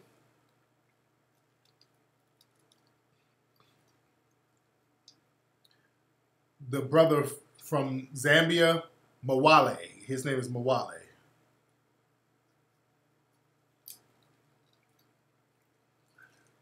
Yeah, everybody in the chat room is like, damn, are 5,000 people in here. Everybody right now, hit the like button. I just noticed that. We got like 4,744 people. Everybody right now, hit the like button. Everybody in here, all the thousands of people in here, hit that like button right now. I just noticed that. Everybody hit the like button. All you gotta do is reach down and just push the button. Don't take you nothing. Just push. There you go. Everybody push the like button who's in here right now. Let us know we in the building. Let us know we in here. Let us let us know you're filling the Melanoid Ministries. There you go. I see it rising up. There you go, family. Already punched it. That's what's up. But um, now let's let's get into some Cosby talk. Let's get into some Cosby talk because I was talking about Cosby earlier. I was talking about that earlier. Shout out, what's up, DJ Scrap Dirty? Um, the other day I did a big thread on Cosby. I did a, a long 21 post thread on Cosby. All right? I did a 21 post thread on Cosby breaking down the real reason why they were going after Cosby. And I brought heavy receipts. For those who did not see that, if you didn't see it, can you press two, please? I know many of you saw the thread, but those who did not see the thread, can you please press two? Just so I'll know and I'll catch some of you up to speed. I just wanted to know who all did not read the thread that I had on Cosby. You dig? Man. Where you at? Okay, a lot of y'all haven't, y'all didn't see that thread. Okay, I'm gonna break some of it down. Okay, I'm gonna break some of that down, man. Let me break that down. Let me let me pull up my receipts so I have my receipts ready. All right. Okay, so with Cosby, right now, a lot of folks pressing too. Okay, right now, y'all know he's Cosby's in jail, and you know they they're going to file an appeal. I think he has a strong appeal if he, you know, gets everything out of the hands of that judge who already who clearly had a vendetta. This was a vendetta shakedown. Um, all the white supremacists got on code. They do have a strong appeal. There was a lot of stuff going on in this case that was real funny style. They they bent the law in so many different ways, and we're gonna break this thing down. Um, notice that everything started hitting the fan with Cosby 2014. I'm jumping ahead, then I'm gonna jump back. Notice everything jumped off in 2014.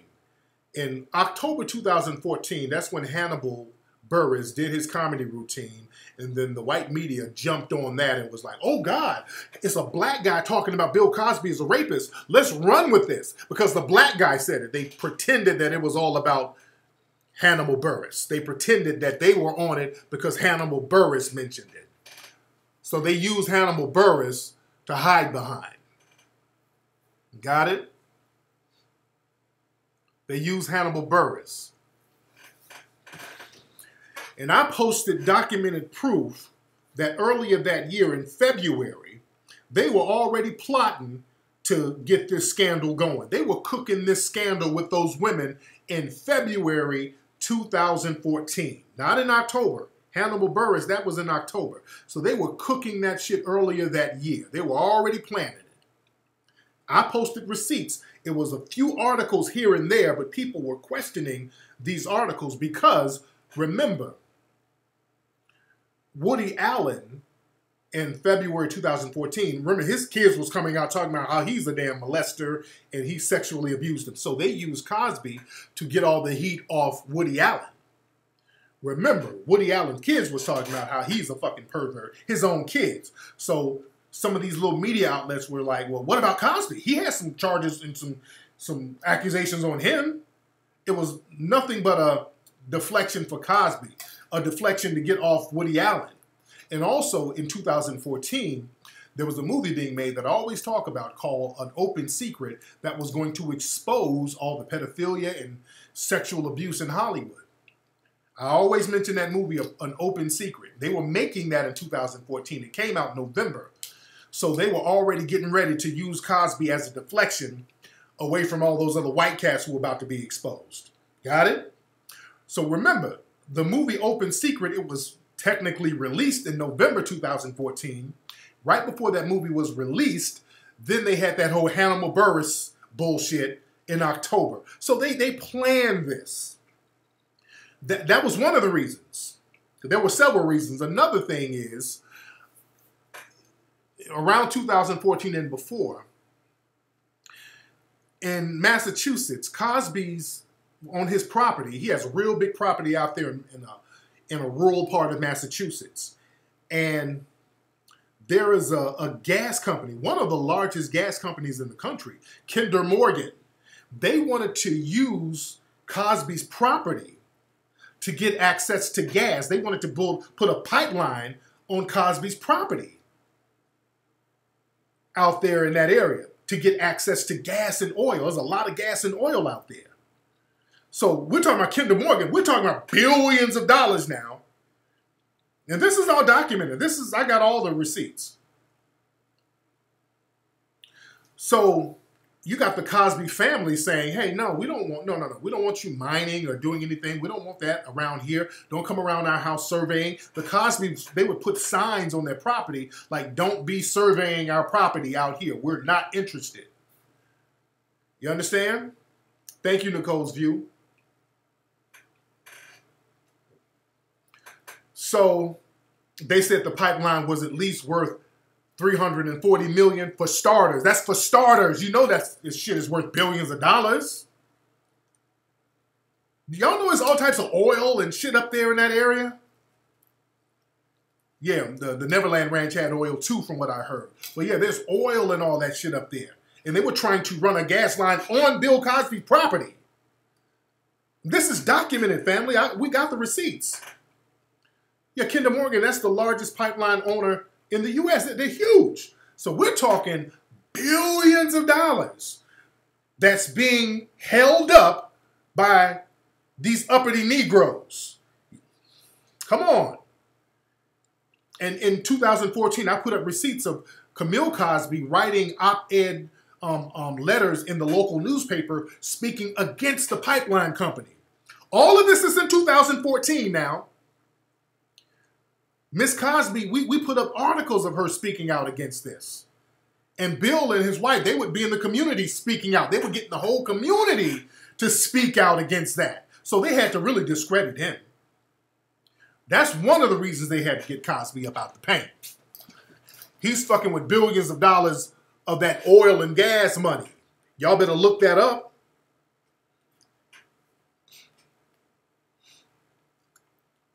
You dig? Because you got these Negroes out here, man. Cosby had, he had raped them women. He's a sexual. You got Negroes talking that dumb shit, man. You better understand. These white supremacists will get on code and lie and throw up a smoke screen so they can be doing something else. And also, with the Cosby thing, the Cosby thing was really about embezzlement. It was about um, in, embezzling money. This was about scamming. This was about extortion. They've been trying to extort Cosby. Some of these same people connected with this current trial, they've been trying to extort Cosby since the mid 90s. Do y'all understand that? I brought the receipts heavy. There was no evidence against Cosby, and they keep telling the lie that he confessed. And in the documents, he clearly didn't confess. They asked him specifically if he gave people drugs unknowingly. He said, no, that's not a confession, and they know it. They put this man in jail with zero evidence whatsoever. And then another man accused of the same shit, they put him on the Supreme Court. But let's break it down. Let's go back deeper. They've been coming for Cosby heavy. They've been trying to embezzle and um, um, extort this man for years. This is what y'all need really need to look up, and I want y'all to, to look this up while I'm talking. In 1997, when Bill Cosby's son, Ennis Cosby, got killed, and I'm gonna talk slow because I want y'all to pull your Google up and look this up while I'm talking. And I want y'all to ask me, is this a damn coincidence? Or answer if it's a coincidence. 2007, in January 2007, I think January 16th, Watch these dates.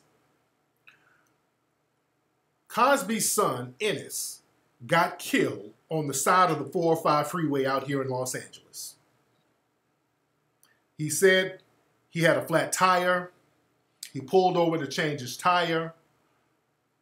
He was killed by a Russian connected hitman. They tried to make it sound like a random carjacking. The guy who killed him is named Markasev, Mikhail Markasev. I hope I'm pronouncing his name right. Mikhail Markasev. All right? Mikhail Markasev had ties to the Russian mafia. Google that right quick, just so y'all don't, I'm just so y'all don't think I got a 10-4 hat on. Google this. As a matter of fact, the media had to stop saying that this guy had connections to the Russian mafia. A lot of Russians came out around that time and said them told the media, y'all need to chill out on that Russian mafia shit because the Russian mafia don't exist. Wink, wink. It was that type of thing. They were literally saying the Russian mafia don't exist, so stop saying that we exist. Crazy shit. So this guy, who they said this was a carjacking, and also with this Mikhail um, Markasev guy, there were two other people with him who didn't get charged, by the way. They don't tell you about the two other people.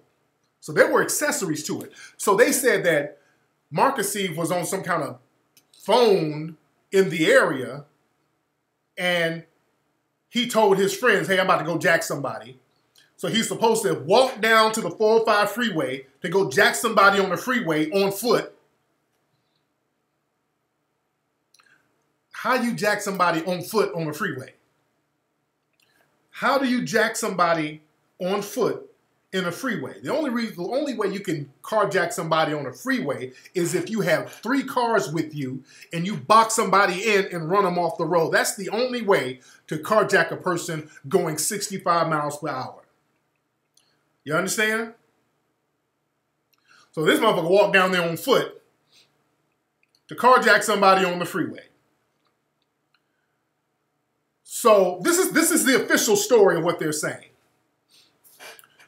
So it, he ended up killing Ennis Cosby on January 16th. He killed him and then left.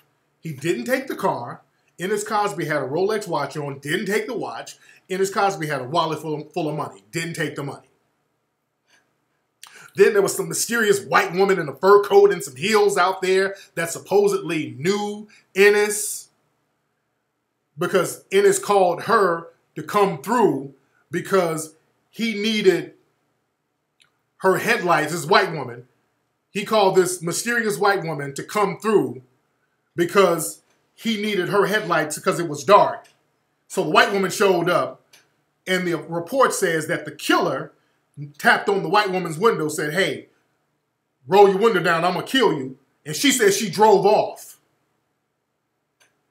Uh, this is the official story. I'm telling you, this is the official story. It don't make no damn sense. That's the official story.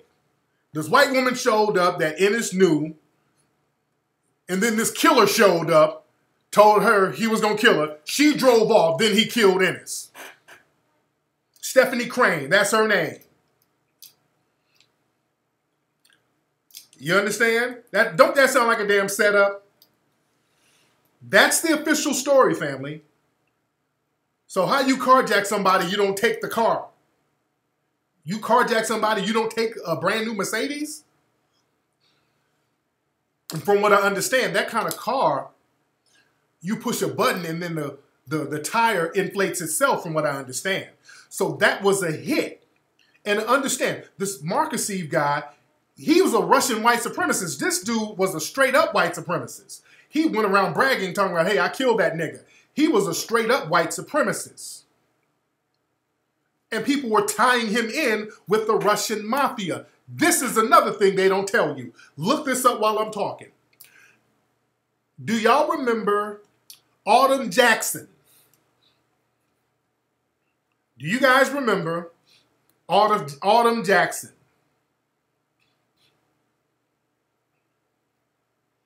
Autumn Jackson, that was the woman who said that Bill Cosby was her dad. Remember her? And her mom had an affair with Bill. He admitted to having an affair with her, the mom. And Autumn Jackson was going around talking about she's Bill Cosby's dad, and there was a big extortion plot. And she ended up going to jail. Remember that? Autumn Jackson had two other co defendants with her that the media never talks about. There were two other co defendants with her that the media never talks about. And it was her co defendants, they were the ones orchestrating this shit with her. You dig? It was a guy named Jose Medina. He's supposed to be a Spanish dude. And another dude named Boris Sabaz, but his real name was Boris. Hold on. Let me give y'all his real name. I'm, I'm giving y'all heavy receipts tonight. I want y'all to look this up. Remember this name Boris Slumlevich. Those were her co defendants. These were the people orchestrating the extortion. And the Jose, Jose or Yossi Medina, because they say he's Spanish, but he might have been a, a, um, a, Ukrainian dude too. Yossi Medina, he was supposed to be some kind of TV producer. Okay? So Autumn Jackson had these two co-conspirators with her that the media never talks about. And they got convicted too, by the way. Look this up. The same day Ennis Cosby got killed by this dude, Amber and these two other guys, one of them is Russian. Boris, Boris Sabaz, or Boris, aka Boris Slumlevich, he's Russian. That's why I wanted to say what those names were. He's Russian. Boris is a Russian name. He's Russian. Boris is Russian. Amber Jackson was in cahoots with some Russian underworld dudes. So the same day Ennis gets killed by a Russian hitman, some other Russians send a fax to Bill Cosby's office demanding $40 million with Amber Jackson, with uh, Autumn Jackson. You dig? The same day, look at the receipts. Remember, Ennis Cosby was killed on the 16th. Autumn Jackson was arrested on the 18th of um, January 2014. She was arrested two days after Ennis got killed, along with these Russians. They don't put they don't never put that shit together. They don't never put it together. They know this. They've been keeping that quiet for years.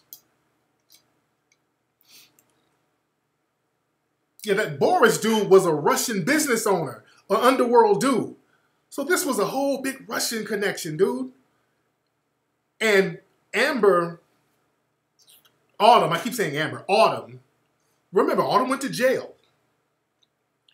That was an orchestrated hit. And understand, they stopped talking about the Russian connection in the media because understand, those Russians are real clicked in in Hollywood. Them Russians are clicked the fuck in. You think they clicked in? They're clicked into our politics now. They it's been like that. All this Russian interference, They've been clicked into Hollywood and all this stuff back then. Now it's coming out. We see that they're all clicked in, in our politics and everything. It's been like that. So somebody was like, hey, y'all better stop saying our name. Somebody started hitting up Hollywood like, hey, don't, don't you say no Russian mafia now. You dig? Ennis was killed in 97. Exactly. He was killed in 97. Look at those dates. He was killed January 16th, 97.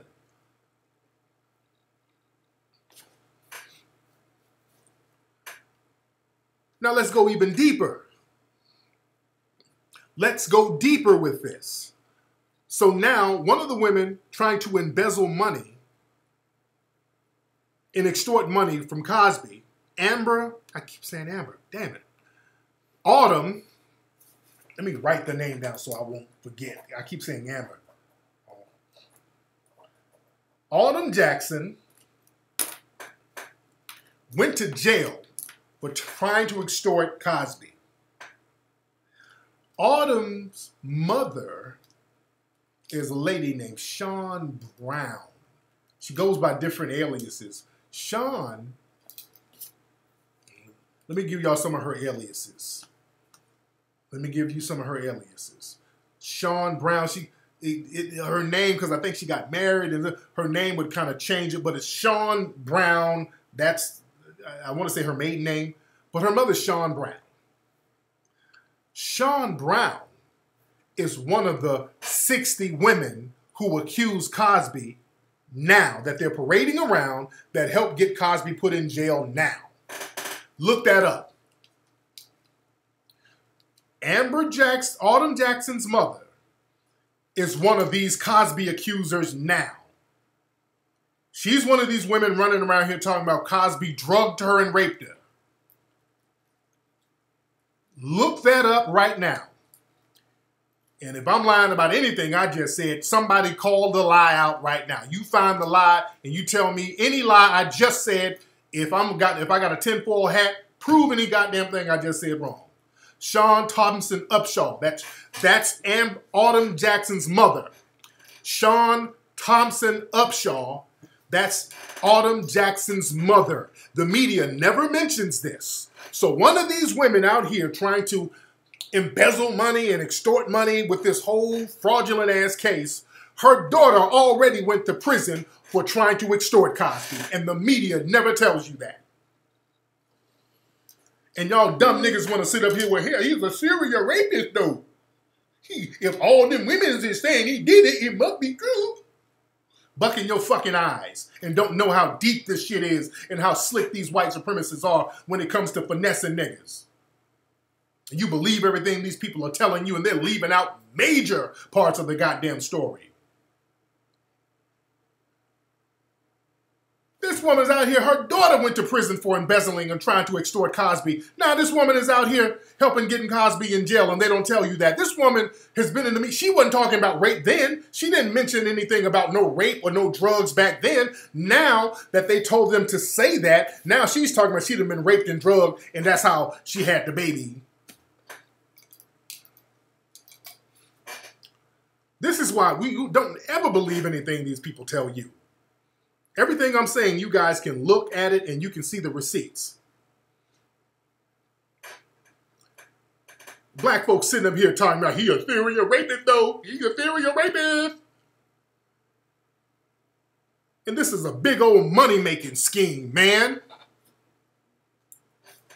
Fuck out of here, Kaya David. Come on, well, he's still a perv. Well, shit, you a perv. Fuck out of here. Miss me, we ain't skipping over all these scandals and embezzlements and extortions.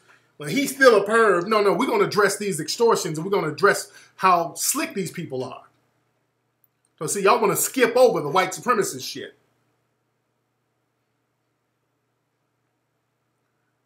And also, what's interesting with um, Andrea Constand,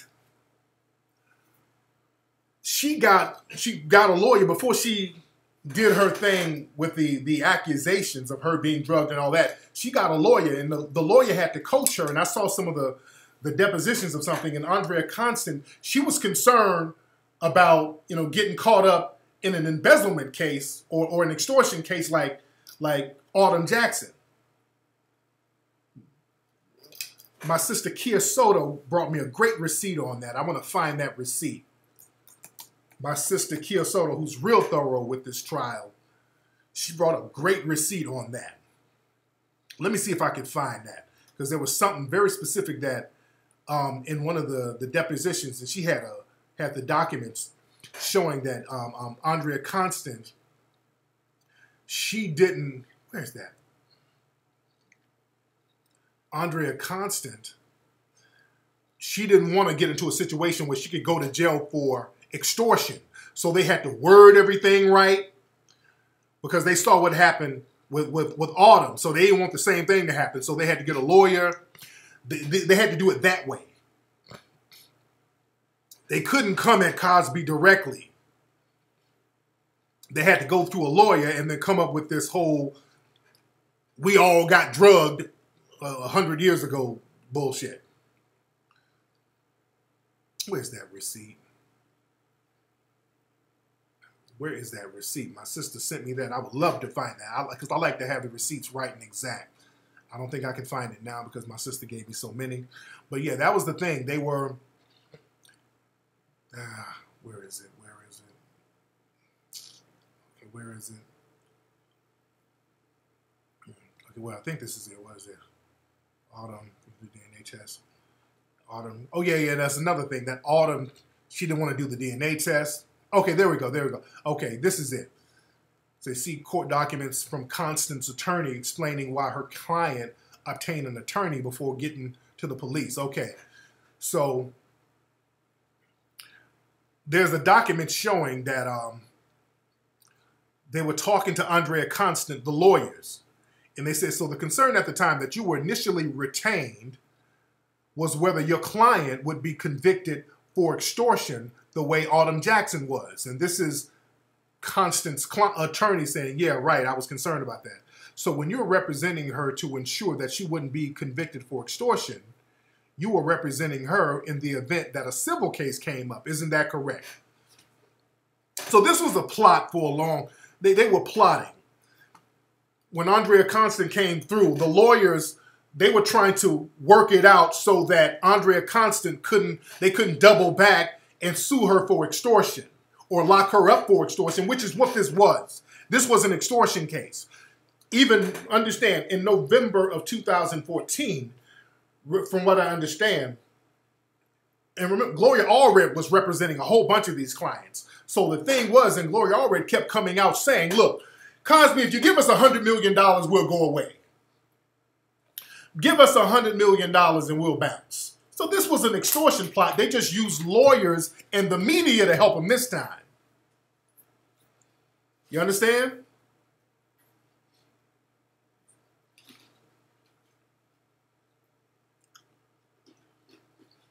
So this was heavy. This was some heavy stuff. So you got to understand the receipts and this, is all extortion. It's all extortion.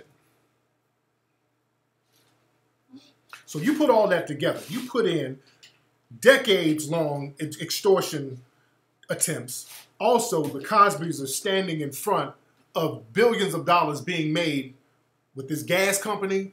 All of that in the mix. They were like, we got to get this nigga out. And also, all these other white cats are being exposed for sexual perversion in Hollywood. So they're like, well, look, we need to throw Cosby out there.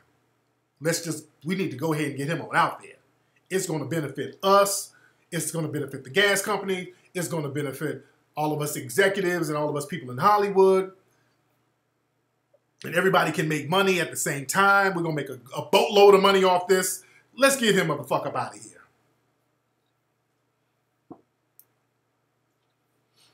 Man.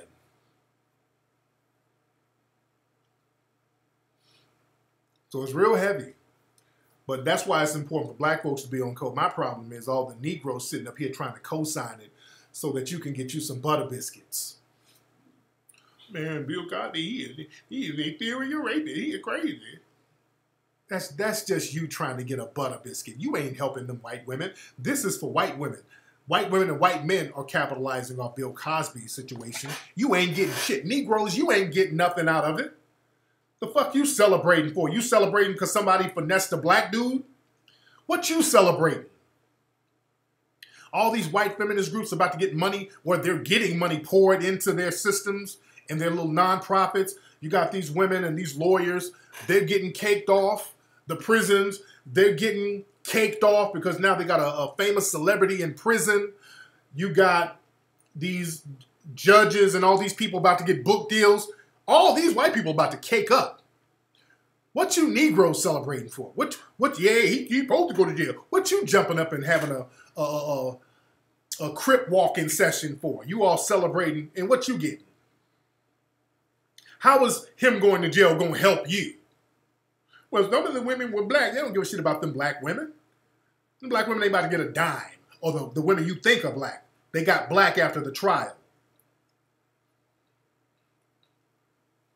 None of them women really identify with black before this Cosby case. All of a sudden, they show up with afros and dark makeup on. This was a farce, and I hope that appeal goes through so he can get on up out of there.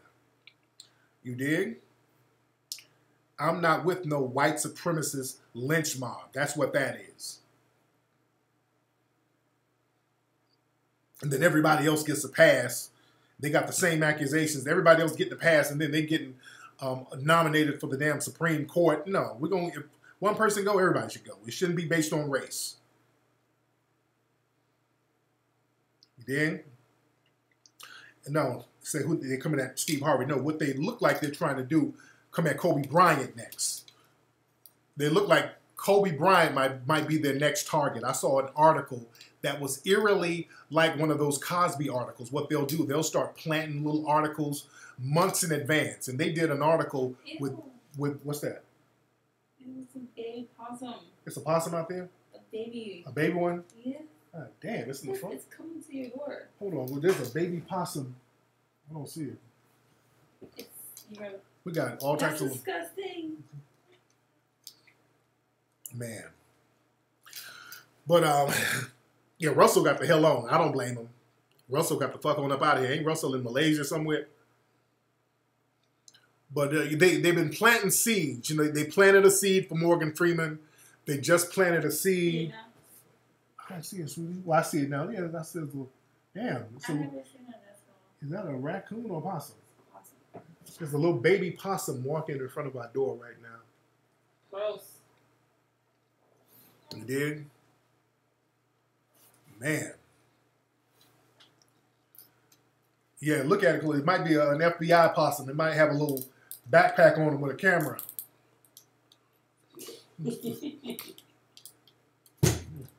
Don't scare it off, Peanuts. He gonna play dead and just lay there. Because we got like all types of wildlife in our yard. There was a big ass possum in the backyard.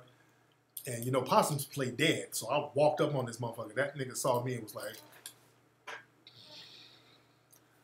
I'm like, get your ass up, possum. What does bites mean? Yeah, they ain't gonna bite you. They got teeth though.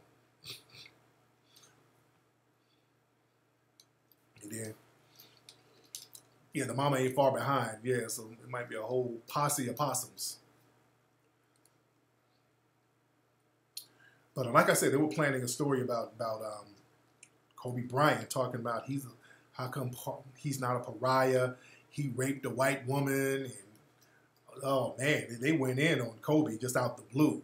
So you know, you, you watch that. These white supremacists, that they know what they're doing. They're all on code. So they'll put a little story out. So when it's time to circle back on them, they'll already have the seeds planted. You dig?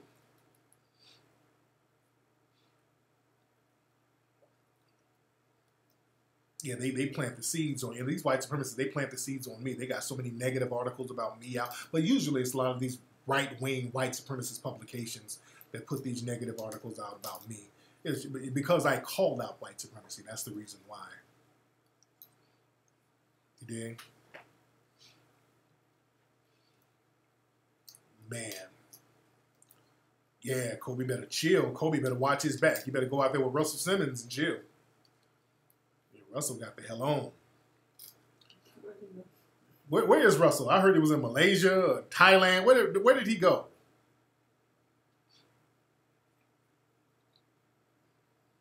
Well, we in here heavy. Everybody, we got 5,000 people in here. Everybody hit that like button. If you haven't hit the like button, hit the like button below, family. We in here.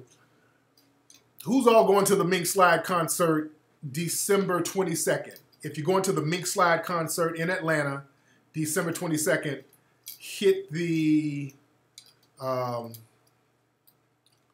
no, hit the press one. If you're going to the Mink Slide concert in Atlanta, press one. Get your tickets at minkslide.com. Everybody going to the Mink Slide concert. We're going to rock out. We are going to rock the hell out, man. We we getting up. You put 1500 on HC5. Much respect to you, Keith. Much respect to you. Let me play that Mink Slide commercial one more time. Hold on. Get ready, Atlanta and surrounding areas. Get ready, Atlanta and surrounding areas. Kingflex Entertainment proudly presents Mink Slide live in concert. Coming to the Center Stage Theater in Atlanta, Saturday, December 22nd, 2018, 7:30 p.m. Whenever I'm with you, Mink Slide is bringing the funk party to Atlanta, performing songs from their critically acclaimed album, Egyptian Musk. Also performing special guest, the APX. Atlanta. Don't miss the fun Party concert event of the year. Get your tickets to see Mink Slide live in concert with special guest the APX at Ticketmaster.com. For more information, go to minkslide.com. If you hear the smack, that it probably got away. It's coming like that. So I'm gonna, I don't know. Call to him. I'm back. I'm back, guys. What's up? yes. Man, y'all better come through. Y'all better come through to the Mink Slide concert. Get your tickets right now at minkslide.com.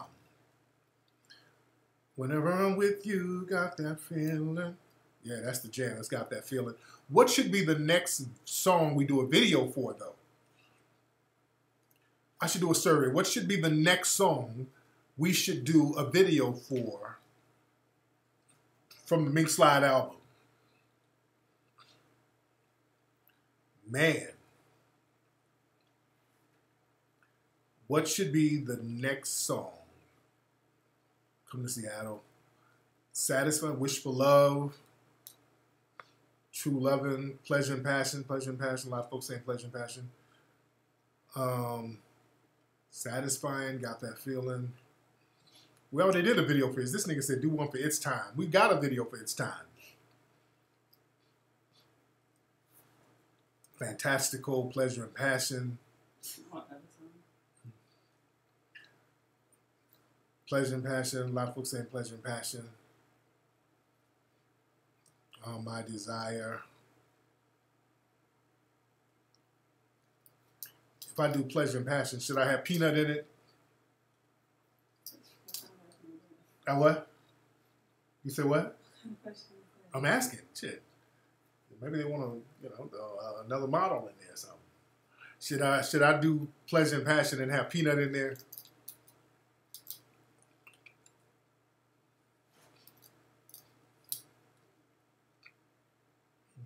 More peeps are saying satisfying. Really? Satisfying. My desire. A lot of folks are saying satisfying. Fantastical. A lot of folks like fantastical. So if I have peanut in it, what we gonna be doing? I gotta see what we gonna do. It has to be fun, something fun we doing. Just have Mama Peanut and have Coochie Berry in there.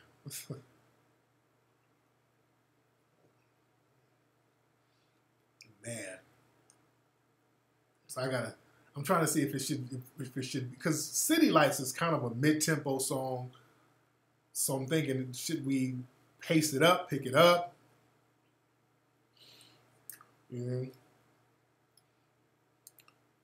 you know, something fast, something, you know, like Wish for Love. I don't know. I don't know. A lot of folks are saying satisfying. All of them are almost the same. Yeah, because I look at I look at like Spotify, we can kind of monitor the popularity of the songs. And like on Spotify, like City Lights is real popular. Pleasure and Passion is popular. Um, It's Time is popular. We already did a video for It's Time. Um, um, Wish for Love, that's popular. Got That Feeling is popular. So, Uh, They're all almost the same tempo though. The one that's different is really is Pleasure and Passion. It's more slow. um, City Lights is slow. City Lights is a slower song. Um, no, I think Pleasure and Passion is slower. No, that, that's the slowest song on there. City Lights is more of a mid-tempo song. Everything is either fast, mid-tempo. City, They're all mid tempo. The only one fast. Pleasure, Pleasure and Passion is a slow song. That's what I'm saying. That's a slower song. Yeah, I need a ballad now Fantastic.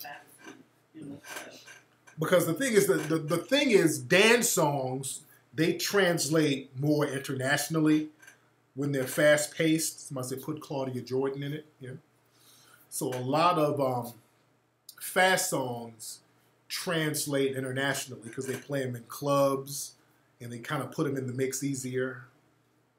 So if it were to be a fast song, it would be either Wish for Love or um, fantastical.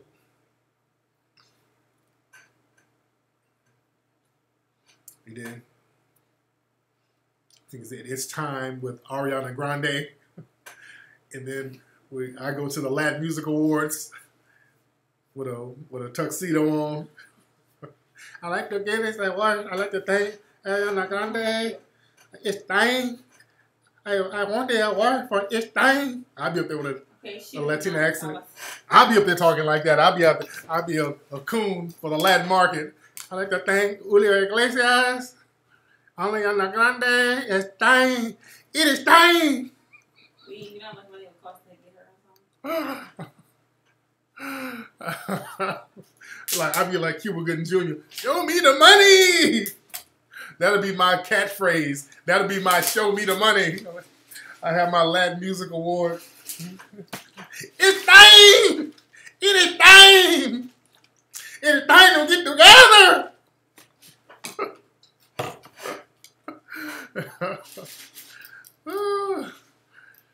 I like to thank the Latin Music Awards for giving me this award for its time. We must all stand up to immigration reform. It is time.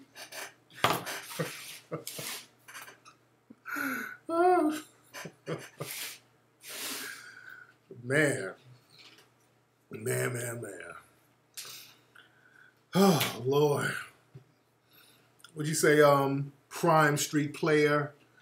You said pleasure and passion too slow. I ain't Luther. Well, nigga, your mom is Eddie Levert with her big back ass. And we're gonna go there, nigga. Your big husky mammy. Me and her gonna do a duet, motherfucker. And we're gonna call ourselves Peaches and Hoes. Not Peaches and Herb, Peaches and Hoes. Your big hoe mama with her big ass. Since you wanna talk slick, you fuck nigga. Up in here. Always a fuck nigga. Wanna talk greasy. And what's this nigga's name again? St. Peter player. Where you at, you fuck boy? We lost you in the mix, nigga. And that's the story of your life. Just a lost fuck nigga. No direction. Just running his goddamn mouth. That's the story of your life, my nigga. Since you want to come in here talking greasy with that weak fucking fade that you got in your profile picture. You did. Your mama don't do shit. Prime Street player. Nigga with that 1989 I'll be sure fade you got. You old fuck nigga. We're gonna have you in the video being a background dancer, nigga. You gonna be our J Lo. How about that, nigga? We're gonna put you on a silk cap suit and some salt and pepper boots and some bamboo earrings, nigga. And you gonna push it, you fuck boy. That's what we're gonna do for you. What, sweetie? Huh? I'm not. I'm, out, I'm about to be done now. I just had to get on this little moist dick breath nigga right here, real quick, since he wanted to get up. Since he wanted to get all up in my mix. Oh yeah, I know ain't nothing good to watch now. I need to work. Uh, I know, man. My gout is acting a damn fool. Still. It's still a, a little bit. It's a little better.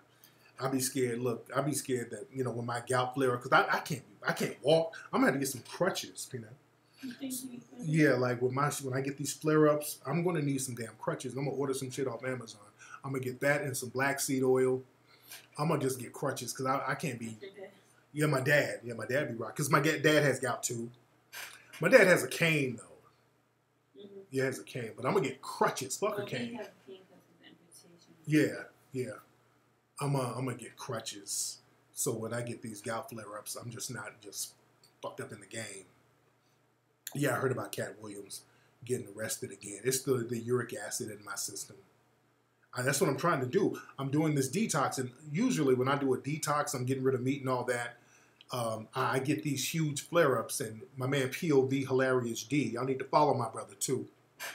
Follow POV Hilarious D on on on on YouTube here. He made a very good point saying that when your body is detoxing, you know, a lot of shit is getting out of your body. I guess some of the the uric acid is getting caught up too because it's trying to get out of the body. So then it gets me fucked up in the game. So, cherry juice. Let me Let me. I'm gonna write some of this stuff down because I do need to get that too. Stay in that vegan life. I'm gonna stay in it for a few weeks because you know Thanksgiving coming up. and I ain't about to play games with y'all ass. You dig? And plus, we about to go to Vegas too. I ain't about to be in no buffet in Vegas eating the damn avocado wrap. Fuck that. You didn't even like avocado. Oh. Okay. What else I need to get y'all? Because I, I got to remember what I need to get. All right. Cherry juice. Tart cherry juice, right? That's the one I need to get. Have some of that. You got you got cranberry juice. cranberry juice. Right. I need So that's the nasty one though. I know, but I need to cherry juice. Cherry juice. I'm gonna get cherry juice. I got Al- allopurinol. I got that. You did? Yeah, I'm gonna get that. No seafood. Yeah, I gotta really watch that. You don't, you don't eat seafood. I don't. I, I- eat fish every now and then. Tart cherries in a can. I'm gonna get some cherry juice. Is there a particular where my, my my health people? Is there a particular cherry juice I need to get? Tart cherry juice. All right, if I take some shit, y'all telling me and it fucks my gout off some more, I'm gonna block y'all ass for life. And I'm never gonna send you a Hidden Colors DVD ever. That's gonna punish your ass. I'm gonna ban you from coming to hidden color screenings. I'm gonna have motherfuckers waiting on you. I'm gonna have. I'm gonna hire a white woman to stand at the door and call the police on your ass if you come to a hidden color screening. Y'all give me a wrong recipe and I get fucked up. I'm gonna have a barbecue Becky. So, yes, there's a nigga at the front door of Hidden Colors Five. Yes, this nigga's armed. I, I was told not to let him in. And you gonna be out there. Is he serious? Is he serious? A teaspoon every day. Look at the Kangen water. I think that's what Sinbad was doing with his gout. What? Sinbad, he has gout. Kangen water. Mm. Okay. Beet juice. Essential alkaline water. Tart cherry juice. Kangen water. Is that that's is that alkaline water? Kangen water? Somebody said Quaaludes. Nigga, they don't make Quaaludes no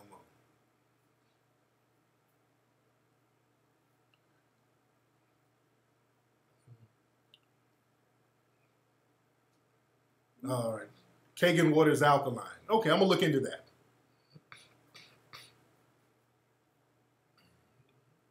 I'm gonna look into that. I'm gonna look into that. All right, y'all. Let me get out of here, man. Boy, we went we in here deep. We've been in here deep, man. Shout out to everybody tuned in. We had a very good conversation, or great conversations. We talked about a lot of stuff on tonight's show. So again, everybody, if you're in the southeast or anywhere in the country, come on down and watch us live at the Mink Slide concert in Atlanta, December 22nd. We're gonna rock out. Tickets are very reasonable, only 35 bucks to get in. Come on through have a good time. We're gonna rock out. Great, great music. Me, the APX is opening for us. I want to see everybody down there in Atlanta in the place. Come on down from other cities. Um, this is going to be a huge event. You know, this is one of my first big concerts. We're gonna rock out. We all we're gonna make a make a big splash. We're gonna have a real good time. So we're gonna have a very good time. And it's it's good to come on out with your family, come on out with your lady, have a date night of it. You dig?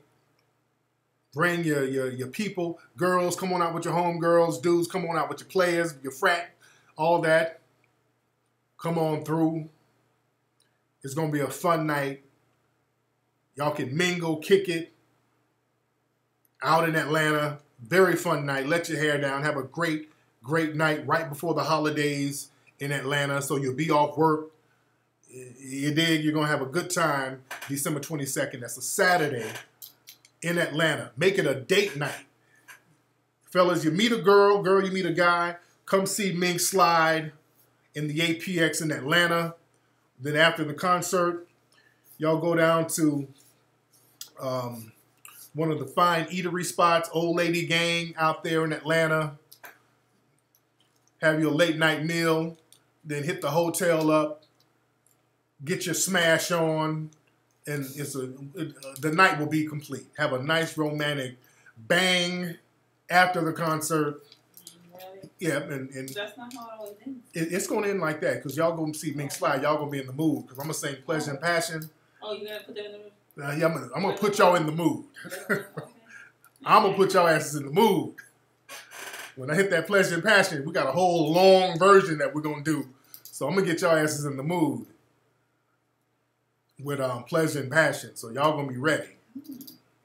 You dig? Old Lady Gang, that's my shit. I love Old Lady Gang out there in Atlanta. Love it.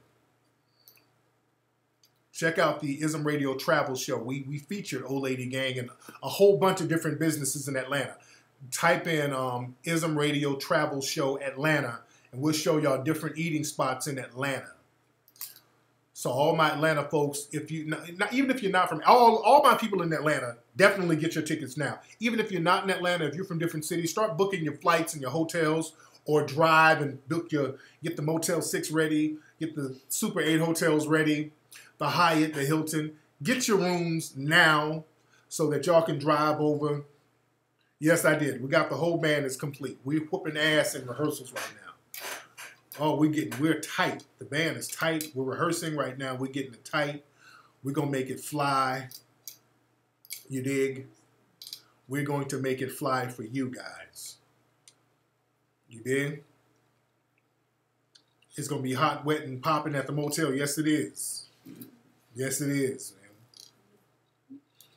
Ladies, shave down there. Brothers, put put some baby powder on your balls. You did get get ready for the ladies. Ladies, get ready for the dudes. So after the show, y'all be ready. You dig, ladies? Um, spray between your cleavage, all that stuff. Get get ready. Get your hair appointments ready. Save some of your lace front money. You want to look your best.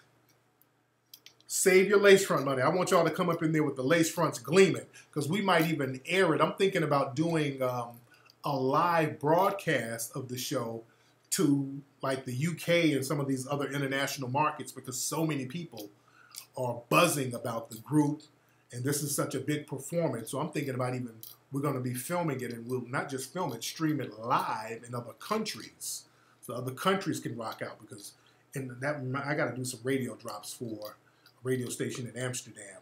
I'm thinking about streaming it for other countries because our shit is real huge in other countries like Amsterdam, the UK, and parts of Asia because they really get into that that old school funk vibe. You dig? Hi, what's your name? Hieronius Fox. Email me, brother. Let's let's chop it up. Hieronius Fox, my man over in DC. Email me, dead ass, and let's talk. Email me let's see what we can do. Why do you think we can't get an interview from Al Haymon to learn? Al Haymon is so low key. That's how you got it, man. Al Haymon, you know, he he's he just chooses to be behind the scenes. That's why he doesn't, you know, he tries to avoid being a target. He's one of those low key behind the scenes dudes, and that works for him. You dig? That really works for him. No, Al Haymon. Al Haymon. Al Haymon is a boss, man. Al Haymon is a boss. Oh, you saw that play with Snoop Dogg and Tamar Braxton? How was it?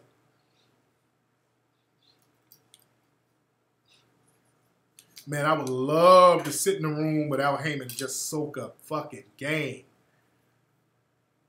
I would love that. That's one of my that's that's that's one of my wish list things. I would love to sit in a room with Al Haymon and just soak up game. See, the thing is, a lot of times black folks, we get around certain people, we want we want them to give us something. Man, he can give me some money for a no. I want to soak up some game. I want to sit down with Al Haymon and just let him chop up game for like 45 minutes. I would soak up every bit of game that dude dropped and use that game.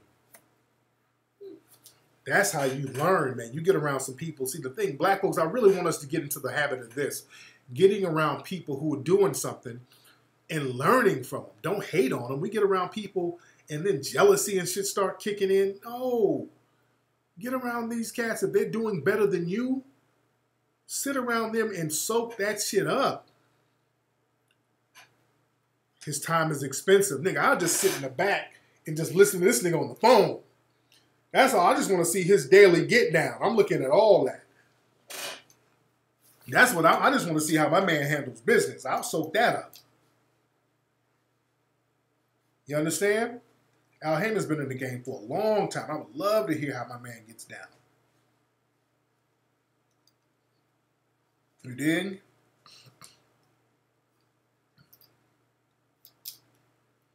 Sometimes our people don't share, but the thing is, you bring around folks. No, we got to be fair about that. You say sometimes we don't share game. The thing is, man, you bring certain people around and you try to lace them with game, then they'll turn on you. All of a sudden, you try to bring somebody around and lace them and make them your apprentice, and all of a sudden, they done wrote a tell-all book trying to shit on you. See, we got that type of shit that we got to get out of our system. You bring certain people around, and all of a sudden, they on love and hip hop, telling all your business, trying to come up off you like that while shitting on you. We, we got to get that out of our system. That's a reality. Some people are foul, man. How did Al start as a promoter? I remember Al Haymon when I was a little kid. I remember Al Haymon's name back in the early 80s when he would promote these concerts, like in um, down south, all over the place. Budweiser, Superfest. Al Haymon's name has been buzzing since the 70s. I started hearing about him like in the the like around 1980, 81. But he's been around since the 70s. I remember he would do a lot of promotions for Frankie Beverly Maze. I would always I would always hear his name growing up.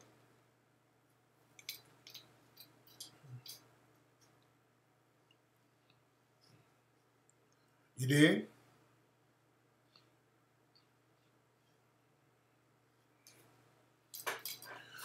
So, you know, people like that, those are people that I would like to soak up game from, most definitely. Man. And you know what I'm going to, my man, you asked a very good question, Daisy. Um, do I mentor? And that's what I'm going to have to start doing too. I got to, I got to do the same thing. I'm going to have to put together some mentoring programs because I do have a lot of people who and I like Byron Allen. I like Byron Allen. I, I, wanted to chop it up. I wanted to have Byron Allen on the show to drop some game, and his people declined. And I felt a certain way about that. I'm like, well, damn, I want you to just share with the people some game. Because Byron, I've seen him drop some real good stuff before and talk some real good game. But, you know, I don't know. I don't know. Yeah, Al Haymon promoted the big concerts back in the day. And, you know, I don't see promoters like him anymore. Do y'all know of any promoters like Al Haymon? Well, now the the white court companies they've kind of monopolized it, like Live Nation, AEG, people like that. You did? But understand, Al Haymon was the biggest black promoter for a long time. And he was promoting like the Budweiser Superfest, these huge shows. He would get all these black acts and just take them all over, and he, Al Haymon was the dude.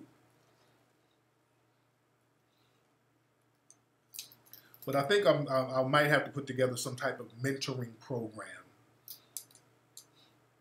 You dig? So I have to look into that. I have to look into that. You know, that's why I like having people like George Fraser, Dr. Claude Anderson, and so many other people in the Hidden Colors movies because I learned from these people too. Yeah, I learned from these people too.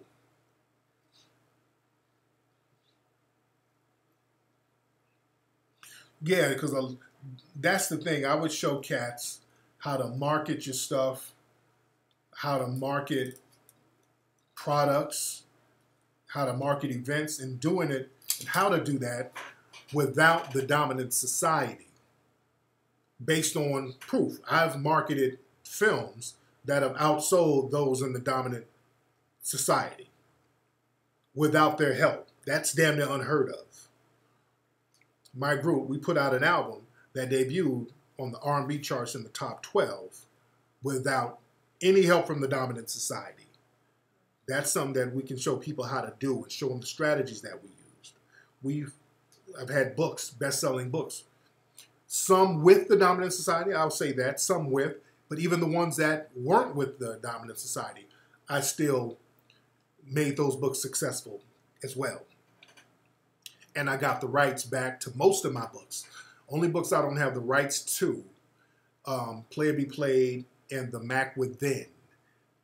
One is Simon and Schuster, one is Penguin. But all my other books I got the rights back to. So I would I would probably have to put something together like a mentoring program and just kind of lace cats with game and try to come up with something that we can do for those who are worthy of getting that game. Jermaine Dupri's dad, he's a major concert promoter. Okay. Is his dad with Live Nation now or because the Scream Tour, I want to say that went through Live Nation.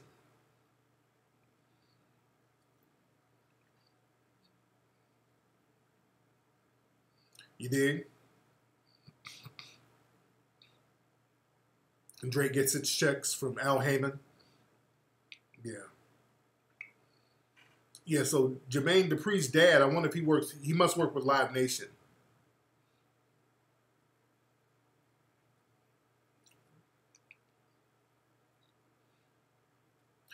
But anyway, let me get up out of here, man. It's been real. We've had a long night. Shit has been at 10 o'clock, so I've been on here live for a long time.